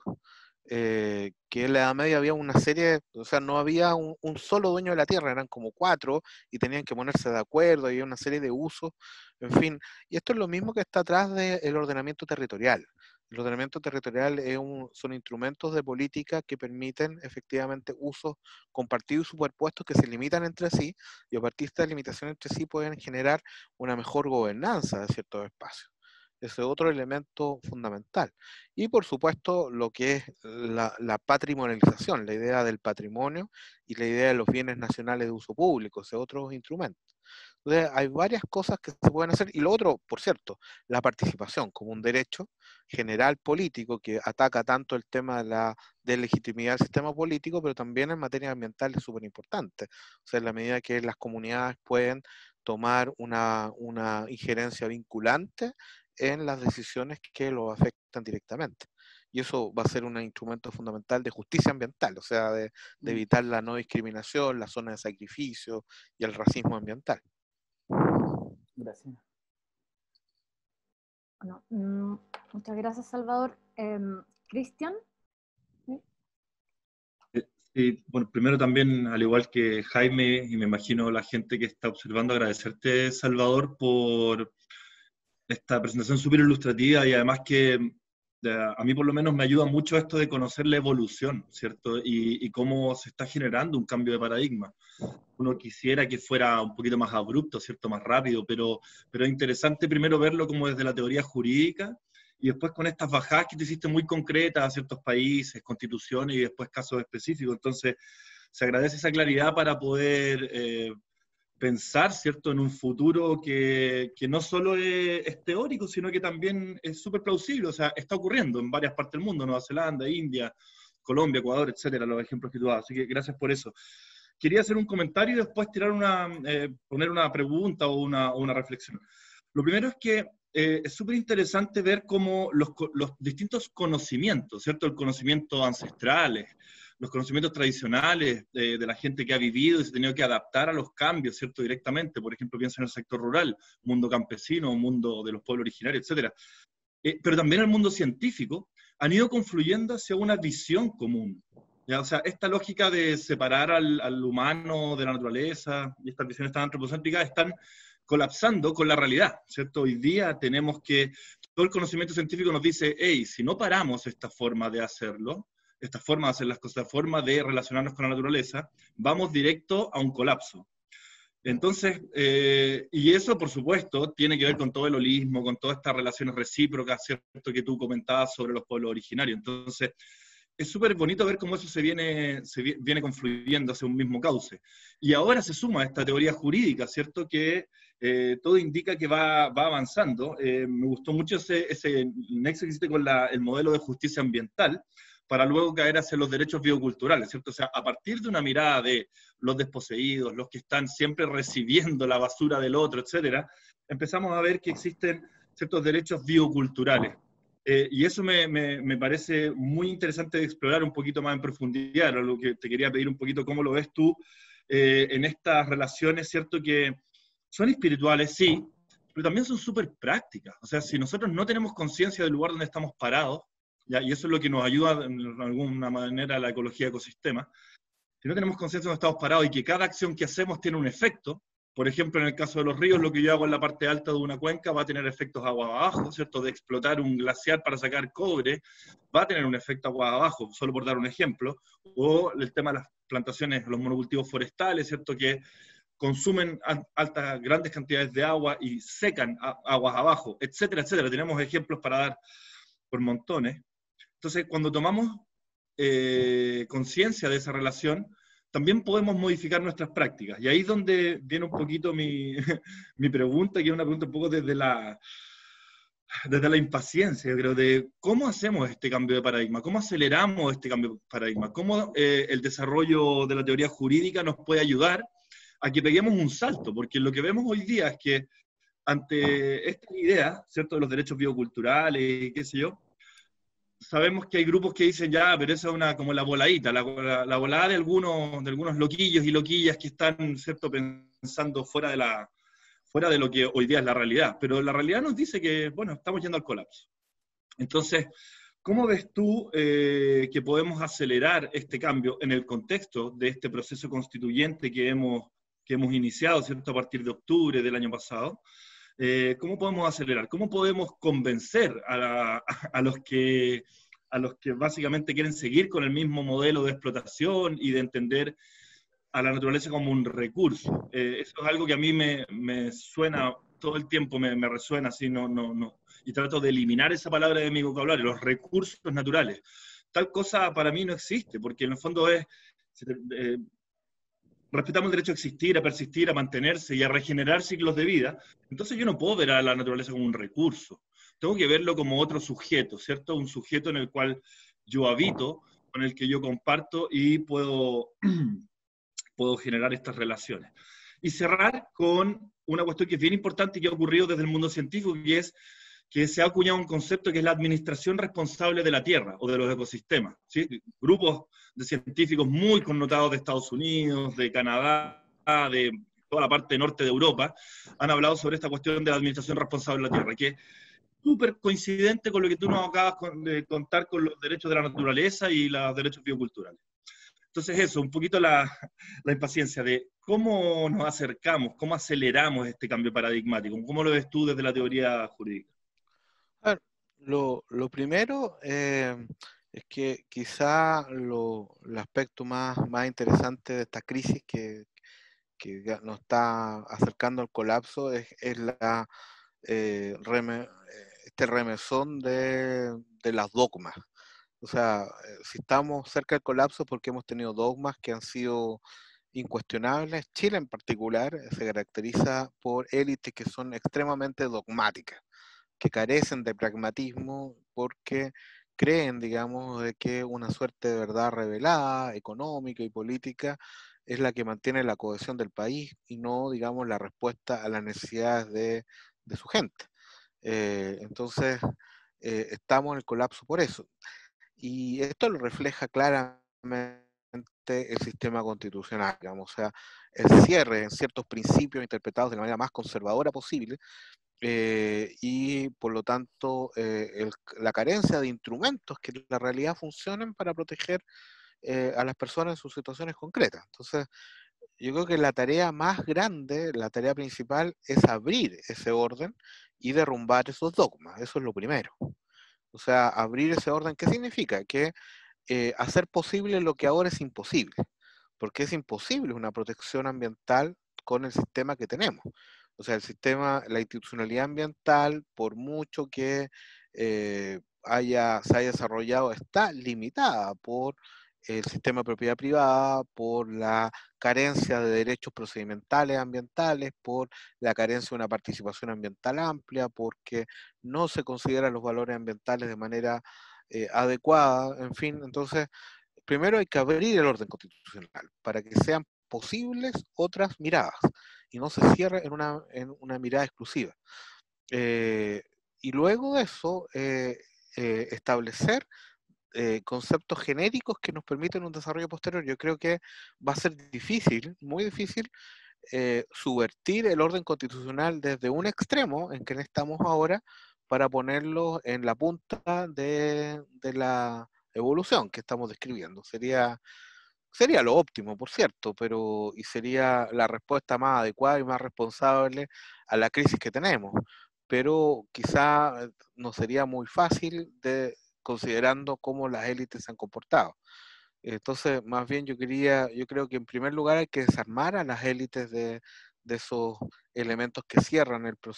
la constitución para la protección del ambiente y para permitir que eso se abra y, y después las leyes, las políticas públicas puedan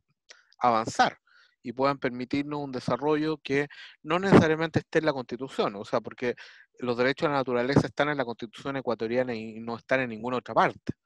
Eh, a nivel constitucional, pero otros países que estamos revisando, como la India, como Colombia, en fin, o el mismo Estados Unidos, eh, en otros niveles han podido desarrollarlo. ¿Por qué? Porque la constitución les permite un juego más amplio que nuestra constitución no lo permite. Entonces, abrir eso, abrirlo para que a partir de leyes y desarrollos locales o de políticas públicas se pueda tener un nivel de protección mucho mayor. Eh, por lo tanto, la idea es habilitar, yo diría, instrumentos. Por cierto, fortalecer los deberes del Estado, fortalecer las herramientas de ordenación, eh, ordenamiento territorial,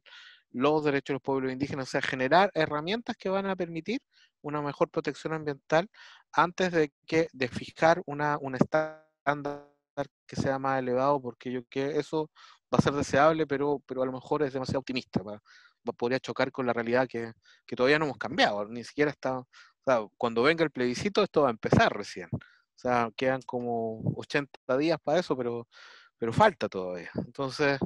veamos qué pasa, yo creo que ahí eh, la apertura es lo que es, una, es la primera lucha que hay que dar y, y dentro de eso creo que la, eh, la, capacidad de los científicos, yo creo que es muy importante lo que dice Cristian y los demás, de cómo los científicos se pueden convertir en sujetos políticos. Eso eh, es algo que ha pasado en todas partes del mundo, en muchos ámbitos, pero en particular en ámbitos eh, ambientales es fundamental. O sea, solo gracias a los científicos es que sabemos de que, o se pudo derrotar este lobby de que el cambio climático no era una interpretación, sino que era una realidad. Eh, y eso es por una acción política de los científicos. Yo creo que aquí los científicos se tienen que politizar, no a una manera, digamos, digamos cotidiana, sino en el sentido de eh, traducir sus visiones del mundo en demandas de protección constitucional, en demandas de políticas públicas, que se transformen en un agente de cambio y no simplemente en un agente de conocimiento, de educación, como lo son, digamos, sino que en un agente de cambio. Y eso que yo creo que está pasando, pero tiene que ahora profundizarse en el proceso constituyente. Es la gran época de, de los científicos políticos. Eh, no sé si eso será eh, lo, lo, que pensaban algunos de ustedes cuando se metieron a estudiar biología, digamos, o ecología, pero para hacer lo que ustedes quieren hacer es algo que tienen que hacer. Muchas gracias, Salvador. No sé si, eh, Cristian, ¿quieres agregar algún otro comentario o estamos bien ahí? No, no, la, la Tami está viendo, después quería hablar de otra cosa, así que a ver si hay tiempo. ¿Tami está pidiendo la palabra? ¿Sí? ¿Tamara está? Sí, ya. Sí, ahí estoy, sí. Eh, bueno, y al igual que Jaime, Cristian, Salvador, te quiero agradecer por esta, por esta presentación que em,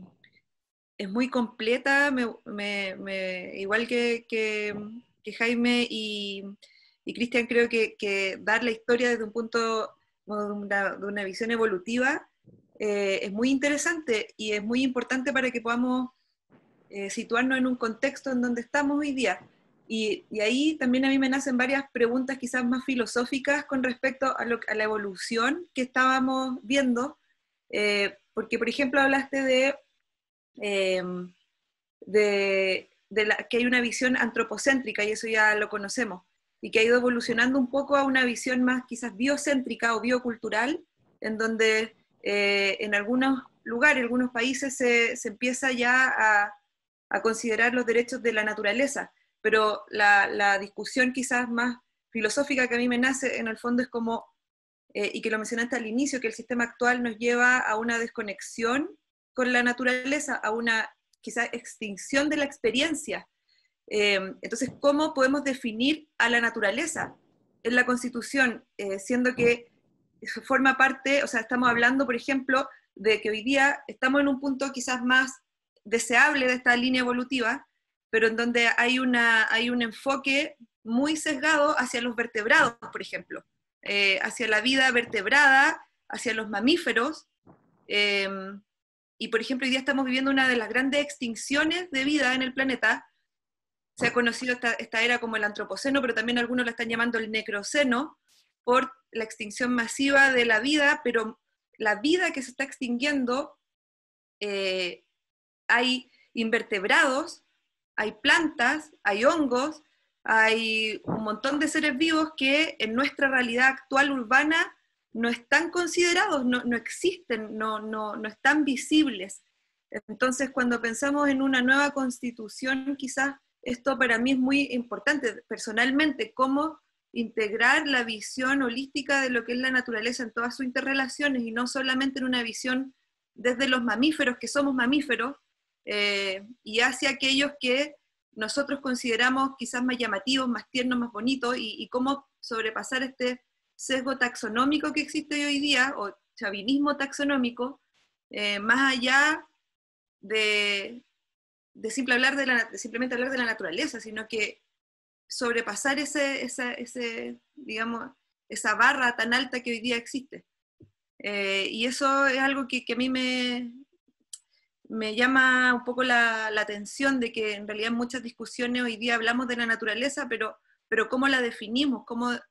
eh, ¿De quién estamos hablando? ¿De quiénes? Aparte de, del paisaje quizás, aparte de estas zonas prístinas que tenemos en el imaginario o de los parques nacionales,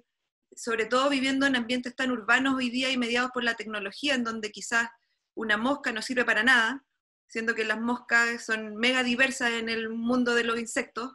eh, y así, digamos, o los hongos, por ejemplo, o las bacterias, o los virus hoy día con la pandemia. Eh, entonces, esa era un poco mi, la, discusión que quería plantear. Bueno, es que ahí es clave porque la concepción de, de la naturaleza es precisamente aquella que se ha construido en torno al ser humano. Entonces, en eh, los conceptos, el lenguaje que se usa es un lenguaje de la cercanía al humano. O sea, todo lo que el humano ve y cómo lo ve es lo que e integra en su mundo y, eso también en su ámbito de protección jurídica. Entonces,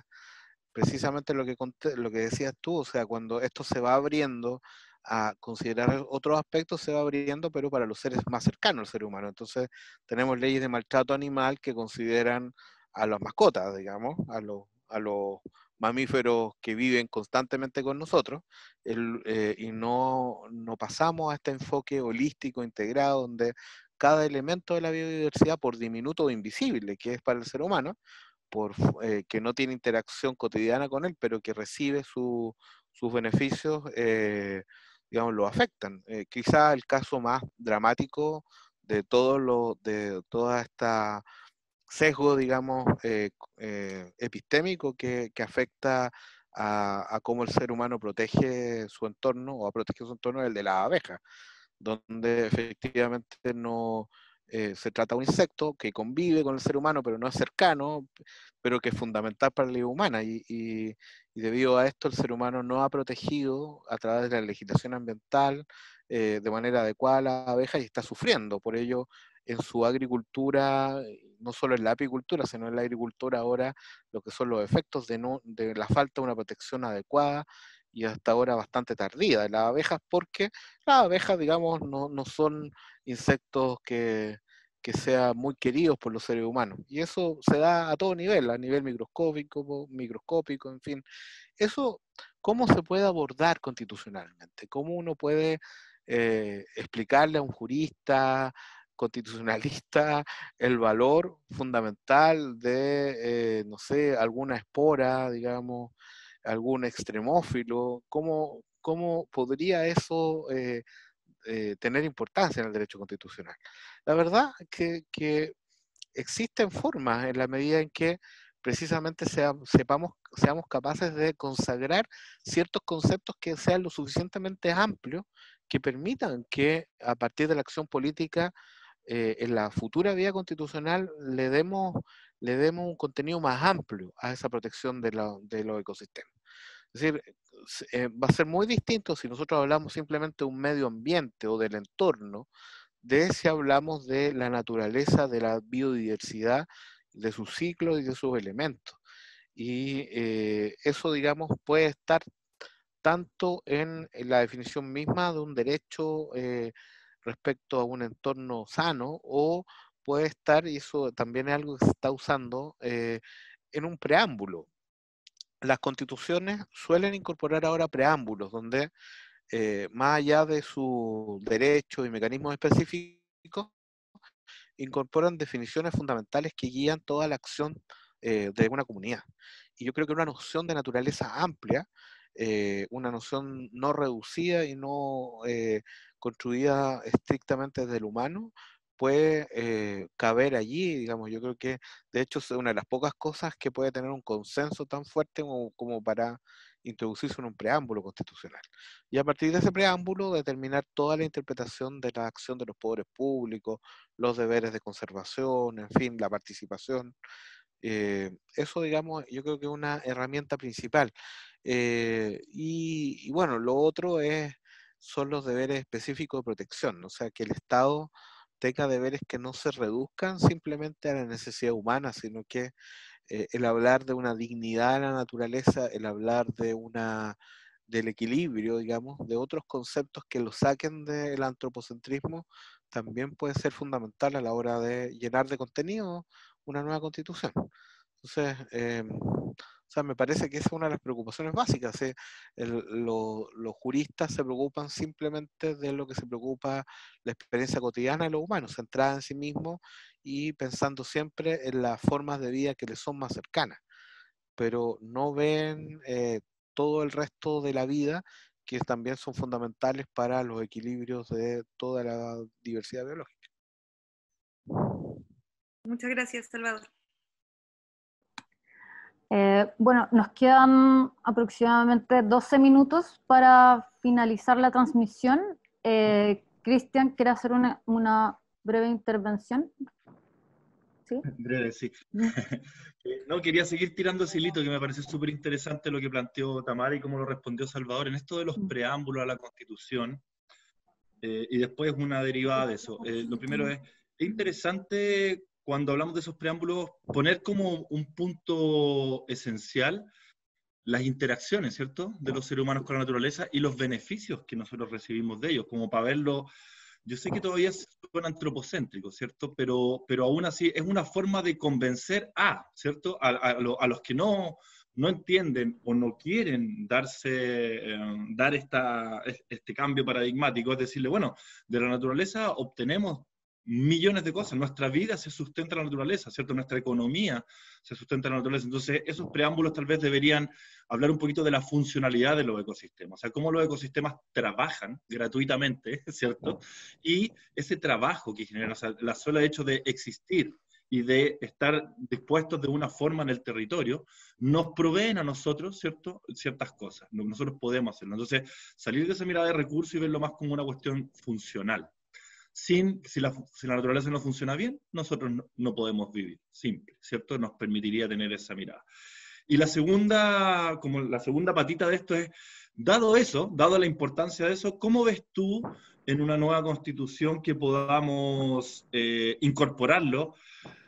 de manera bien pragmática. Y para eso a mí se me ocurre que un modelo, por ejemplo, de República Federal, donde podemos compartimentalizar un poquito el país, ¿cierto? Y entender la diversidad que ahí existe, donde tenemos un norte muy árido y un extremo austral, por solo poner dos ejemplos, ¿cierto? Eh, muy lluvioso, muy diverso. Entonces, ¿cómo podemos de alguna manera dar cuenta de esa diversidad? Yo creo que a través de una República Federal y luego el tema de la participación, que tú lo tocaste en varios, varios elementos, eh, Jaime también lo, mencionó en su, en de cómo hacemos que los, habitantes de los territorios empiecen a tomar más decisiones sobre lo que ocurre en su territorio, y no sea la empresa A, B o C que llega al territorio e instala su faena, sin importarle lo que ahí ocurra, y son los habitantes del territorio los que deciden qué es lo que quiero o no. Obviamente esto va aparejado del ordenamiento territorial y una serie de otras herramientas, como tú bien mencionabas hace un rato, Salvador, pero ¿qué te parece esa mirada, primero, de, de las cuestiones fundamentales o los preámbulos?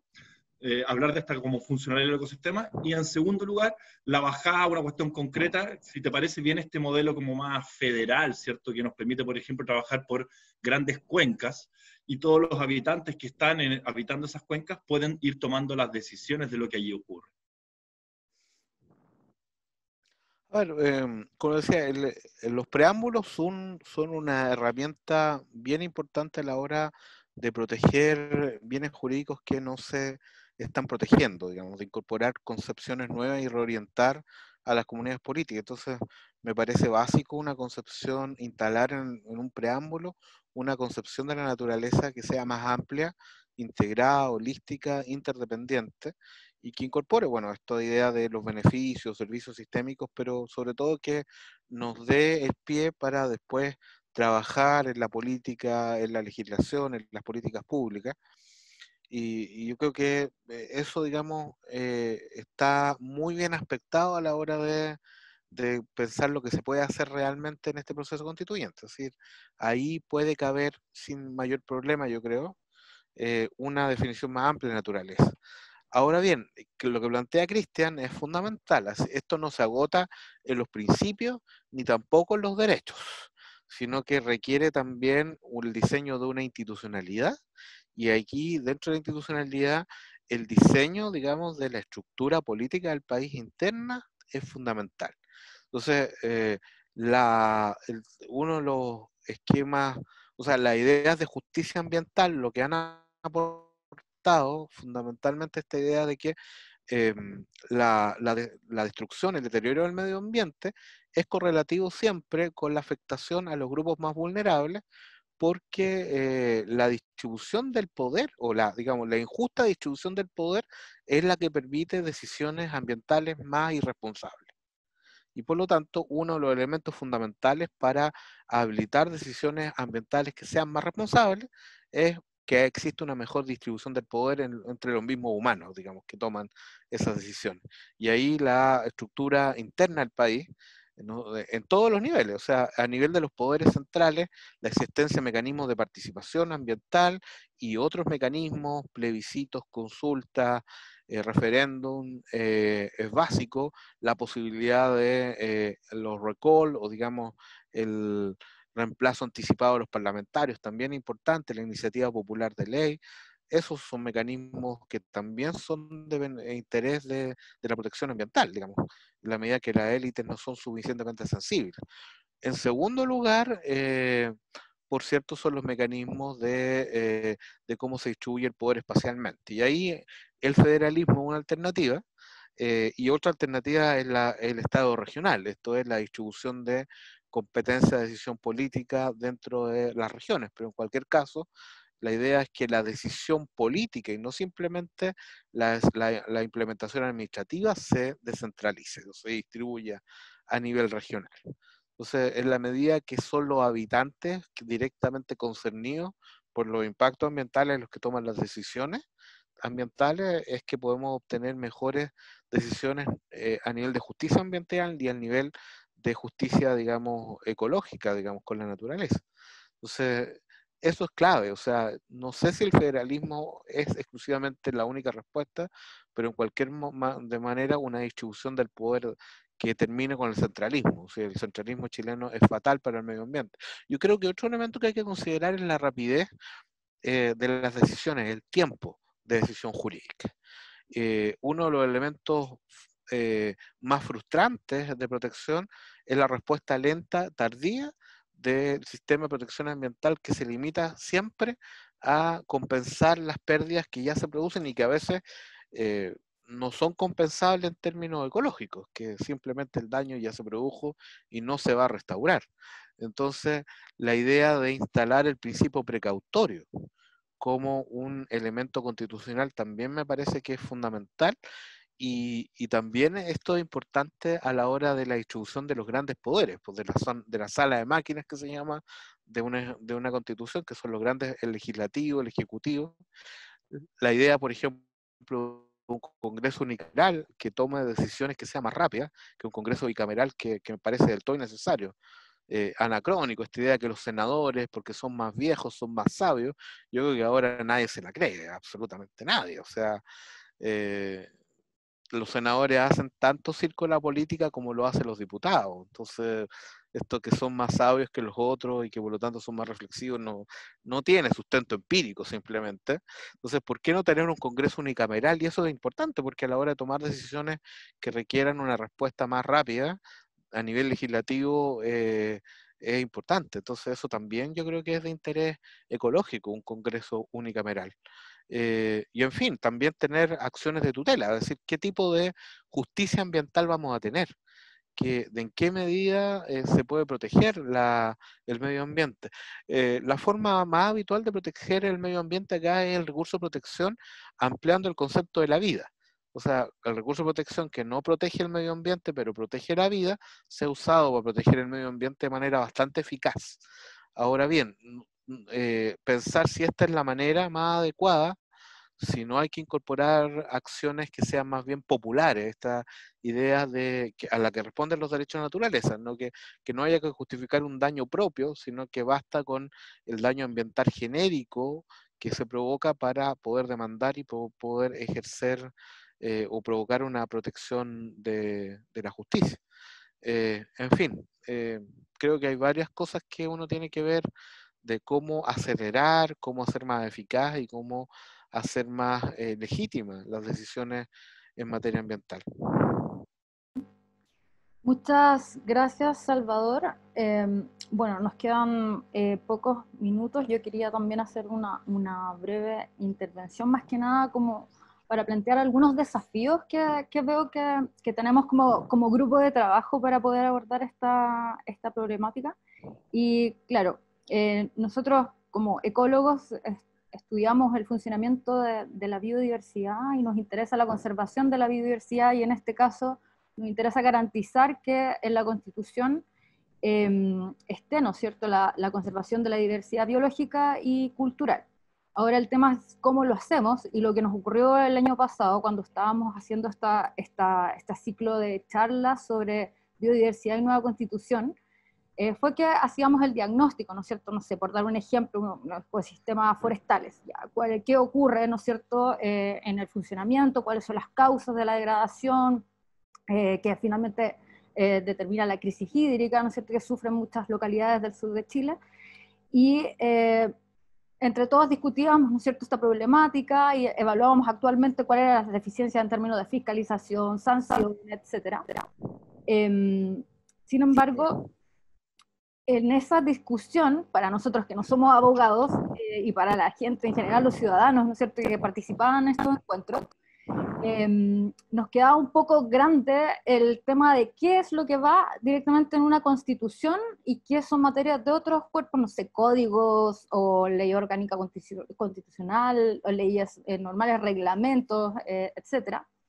Eh, porque no todo va en una constitución. Por ejemplo, la constitución de Estados Unidos muy simple, eh, lleva eh, algunos tópicos y no lo aborda todo y lo, demás será abordado en, en otros em, cuerpos legislativos, no sé cómo, cómo, llamarlo. Entonces, en ese sentido, como para poder nosotros incorporar los elementos, los fundamentos ecológicos, necesitamos eh, orientación con respecto a qué es lo que lleva una constitución en particular. Entonces, eso, ese para mí es un primer desafío de, este grupo de trabajo, como tarea para el, para el abogado del, del grupo, orientarnos en, en ese ámbito. Eh, después también está el desafío de los conceptos. Acá eh, tenemos, un, por ejemplo, actualmente un Ministerio del Medio Ambiente sin embargo, así como Cristian no, le gusta ocupar el término recursos naturales, eh, a mí no me gusta mucho ocupar el término de medio ambiente, porque finalmente es la biodiversidad la que funciona, la que provee de, beneficios, de la cual eh, nosotros em, eh, podemos existir, podemos vivir, ¿no es cierto? Entonces, la idea de definir cuáles son los conceptos claves que, que debieran ir en la Constitución. Eh, entonces, en, en, ese ámbito, el concepto de biodiversidad, pero quizás tomando un poco en cuenta lo que decía Tamara, ¿no es cierto? Es como no solamente son los componentes de la biodiversidad y algunos más carismáticos, sino que también cómo se estructuran y cómo funcionan para, para proveer los beneficios y finalmente para que todos podamos coexistir, tanto los humanos y los no humanos. Entonces, en ese sentido, em, necesitamos como definir bien esos conceptos eh, con los cuales vamos a, a trabajar y claro, cuando empezamos a utilizar la biodiversidad, quizás se transforma en recursos naturales, con una visión más antropocéntrica. Entonces, bueno, eh, yo creo que ese, ese también es un, desafío eh, importante y, y, por lo demás también como, no solo, solo como eh, ir a alguna parte de la Constitución que garantizar la conservación de la diversidad biológica, eh, biológica como, como, como, una línea, no sé, yo me imagino que debiera estar a través de toda la constitución y a través de toda la, legislación y después las normativas, eh, está eh, redactado de tal manera que se garantice. O sea, no me imagino que solamente, solo con decir vamos a asegurar el derecho a, la, a, la, biodiversidad, no sé, todavía no, no, decimos, no decimos qué cosa que es el sujeto de derecho, pero no imagino que, solo con eso se termine, sino que eh, hay, hay, otras temáticas también que, que, debiéramos como ir abordando. Y por solo dar un ejemplo, en el tema de, eh, de, ordenamiento territorial, como tú lo mencionas, eh, lo mencionaste en tu intervención. El ordenamiento territorial es absolutamente necesario, pero dada la propiedad privada que existe hoy, no podemos llevarlo a la práctica. Entonces, eh, ¿de qué manera aseguramos un ordenamiento territorial? Y yo no sé, me imagino que a lo mejor teniendo un ministerio de planificación territorial o que el ministerio de biodiversidad se encargue también de la planificación territorial, en donde puede existir algunas zonas de propiedad privada y otras en donde definitivamente la, propiedad de la tierra debe ser administrada por, no sé, el Estado o alguien que asegure que cabeceras de cuenca, fuertes ribereños, eh, mantengan eh, la biodiversidad, mantengan los bosques nativos y, puedan como mantener la cantidad y calidad de agua em, que, que, permitan estos bosques que, existen ahí. Entonces, y eso entonces, ¿de qué manera estructuramos, no es cierto? Tú hablaste como de un diseño institucional dentro de la, la Constitución, eh, y ese diseño institucional entonces debiera como ir em, guiando para que todos estos elementos que hemos hablado de ordenamiento territorial, participación ciudadana, administración responsable del, planeta, podamos como verlo efectivamente en la redacción final que tenga esta constitución y todos los cuerpos eh, legislativos que vengan posterior amarrado a la constitución. Eh, bueno, no sé, esos dos eh, temas yo veo como, como de, de, importancia de como entender para nosotros poder ah, como apoyar, ayudar, dar nuestros conceptos y nuestros insumos desde el mundo, desde, el, desde, el, desde cómo entendemos y cómo hemos estudiado, ¿no es cierto?, cómo funcionan los ecosistemas, eh, nos ayudaría bastante en poder como entender todas estas partes, como que lleva una constitución, cómo se estructura, cuáles son los elementos importantes y de ahí ir viendo, bueno, cómo metemos estos distintos elementos que ya sabemos que los necesitamos dentro, pero en este momento no están. Bueno, eh, yo quiero primero señalar que tienen que tomar conciencia, probablemente la tienen, pero digamos reafirmar, de que la tarea de cambiar una constitución es una tarea titánica, en el sentido de que no, no se traduce simplemente en generar un texto que va a ser la norma suprema más importante, sino es tan grande el esfuerzo que uno hace de mover, digamos, piedras gigantes, que normalmente cuando uno cambia la constitución, también se cambian o empiezan a cambiar una serie de otras cosas que no están inmediatamente vinculadas a la constitución, y no solo porque la constitución después haya que adaptarla, implementarla y transformar todo lo que viene abajo de la constitución, las leyes, los reglamentos, sino porque el esfuerzo de la sociedad es tan grande, se moviliza tanta energía de la sociedad, que esa energía alcanza para cambiar la conciencia de las personas y para, por lo tanto, generar una serie de otras cuestiones que uno podría decir de yapa o de, eh, en virtud de la, de la energía liberada por un país, por una comunidad política, por una democracia, eh, alcanzan para transformar otras cosas. Entonces, esta fuerza que ustedes pueden movilizar para eh, incorporar ciertos elementos de protección a la biodiversidad en una constitución, de seguro que se van a traducir en otros cambios para la protección al medio ambiente de inmediato, en la medida que liberen la cantidad de fuerza que, que uno puede esperar que se produzca en un proceso de liberación constitucional. Y ahí lo clave, desde la perspectiva de que cada uno está con esta visión de cíclope, cada uno ve lo que su experiencia y su saber le permite ver. Eh, la experiencia constitucional lo que tiene es precisamente que una gran conversación de todo el país consigo mismo, con todos en un modelo que, de constitucionalismo incluyente, digamos, donde efectivamente funcione más allá de las élites, donde todos puedan caber. Entonces, claro, científicos, juristas, prácticos, en fin, las mismas comunidades van a tener la oportunidad y la necesidad de dialogar entre sí. Y aquí lo básico es la capacidad de traducir sin traicionar eh, estos elementos que pueden venir desde la ciencia, desde el enfoque científico, a una mirada jurídica y viceversa, para que todos nos podamos entender y podamos buscar los mejores conceptos comunes. Esta idea de, no, que, no perderse la traducción, sino que la traducción y la comunicación sean fluidas. Yo creo que es importante eh, precisamente construir redes, incorporar interdisciplinaridad o transdisciplinaridad y por lo tanto así lograr eh, que conceptos jurídicos, políticos, eh, puedan reflejar adecuadamente las visiones que ustedes, eh, digamos, les parecen tan justificadas desde su visión científica. Entonces, aquí es fundamental la incorporación dentro de redes. Bueno, por eso mismo yo eh, también los quería invitar a ustedes a este grupo de trabajo porque se está formando también una red de constitucionalismo ecológico que incorpora juristas y prácticos y visiones desde otras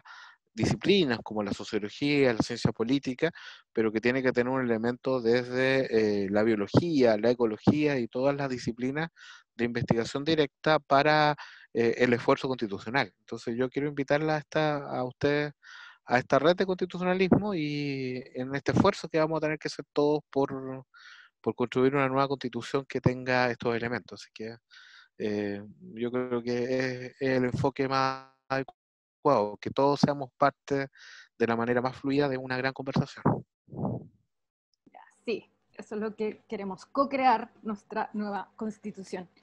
Em, bueno, hay algunos comentarios que mm, hicieron los em, asistentes a esta mm, transmisión. Eh, los voy a leer porque eh, rápidamente son poquitos. Eh, Niurka Navarro eh, dice, importante separación del derecho ambiental del derecho a la naturaleza. Es parte del cambio de paradigma y salir del antropocentrismo. Sin embargo, ¿quién representa el derecho de la naturaleza? Una pregunta que, que podemos abordar quizás en la siguiente sesión. Em, y Roy Mackenzie complementa, dice, buena pregunta, un apoderado responsable podría ser, como por ejemplo los habitantes, eh, ¿Cómo se hace para hacer cumplir los derechos de los niños? Eh, Soran Ostoik, eh, ¿cómo abordar la protección ambiental en la Constitución, en especial el cambio climático? uno, como base de la institucionalidad, dentro de los principios que sirven de sostén o armazón al entramado jurídico e institucional. Eventualidad de consagrar alguna forma de derecho de la naturaleza o atribuir personalidad jurídica a la naturaleza, con sus correspondientes acciones tutelares. Dos, como un deber constitucional del Estado y los particulares, mandato o prescripción de comportamiento o actuación con sanciones en caso de incumplimiento. Tres, como derecho fundamental, con su correlativa garantía constitucional, contemplarlo dentro del catálogo de derechos de que es titular toda persona por el solo hecho de ser tal, junto con su correspondiente mecanismo o instrumento para garantizar el adecuado resguardo del derecho en caso de incumplimiento. Y cuatro, como límite al desarrollo de actividades económicas, en el entendido que debemos consumir y producir de otra manera más sostenible. Luego, Tere Baeza Lagos dice, el cambio de paradigma es esencial, pero angustia saber que en Chile aún no llegamos al, al estadio de respetar siquiera los derechos de todas las personas. Maravilloso que abran estos espacios de reflexión y traspaso de información. Tenemos mucho trabajo por hacer. Colo Javera, perdón. Y Colonode, ¿no? Ya, en Chile los recursos naturales han sido apropiados por los grandes grupos económicos. Un caso emblemático es la apropiación de la propiedad de los peces. En este último caso, un patrimonio colectivo pasa a ser explotado a costo cero. Existe un royalty ridículo, amparado desde el Congreso, la institucionalidad del Estado y los partidos. Esto ha significado que desapareciera el 70-80% de las principales pesquerías que poseía el país. ¿Cómo cambiamos este tipo de realidades? Javiera Navarrete, como el activismo basado en evidencia que está presente en los movimientos de profesionales por los derechos a la salud. Es un comentario al, al, al comentario anterior. Beatriz Ramírez dice, tal vez la consideración de las funciones ecológicas básicas de los ambientes y ecosistemas deban ser protegidos a través de los nuevos enfoques constitucionales. Es salvaguardar la funcionalidad y estructura de los ecosistemas. Eh, Paula Caballero, nuestra amiga Paula, resulta fundamental incluir el concepto nativo, pues los conceptos de biodiversidad, funcionalidad ecosistémica, salvo un nivel de estrictez muy profunda, etc., no excluyen los reemplazos de especies. Y por último, Colono de Aguas, eh, dice los científicos más críticos y progresistas tienen una dura lucha política por delante al interior del mundo de las academias, colegios profesionales, universidades, Ministerio de Ciencias, con los científicos que apoyan las prácticas neoliberales de los grupos económicos que se acompañan de la devastación medioambiental. Sector muy fuerte en Chile que es corresponsable del desastre medioambiental al que hemos llegado. Bueno, ahí están los comentarios que nos van a ayudar a, seguir em,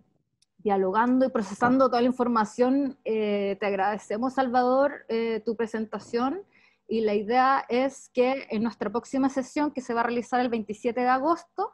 eh, vamos a tener eh, diálogos sobre los fundamentos filosóficos a cargo del doctor Ricardo Rossi, de la Universidad Magallanes, Universidad North Texas, IED y Fundación Omora. Así que los dejamos a todos cordialmente invitados. En 15 días más nos, nos volveremos a ver para seguir con estos diálogos sobre la biodiversidad y la nueva constitución. Muchas gracias, Salvador, y Muchas gracias a todos los panelistas. Eh, nos vemos. Chao, chao. Gracias.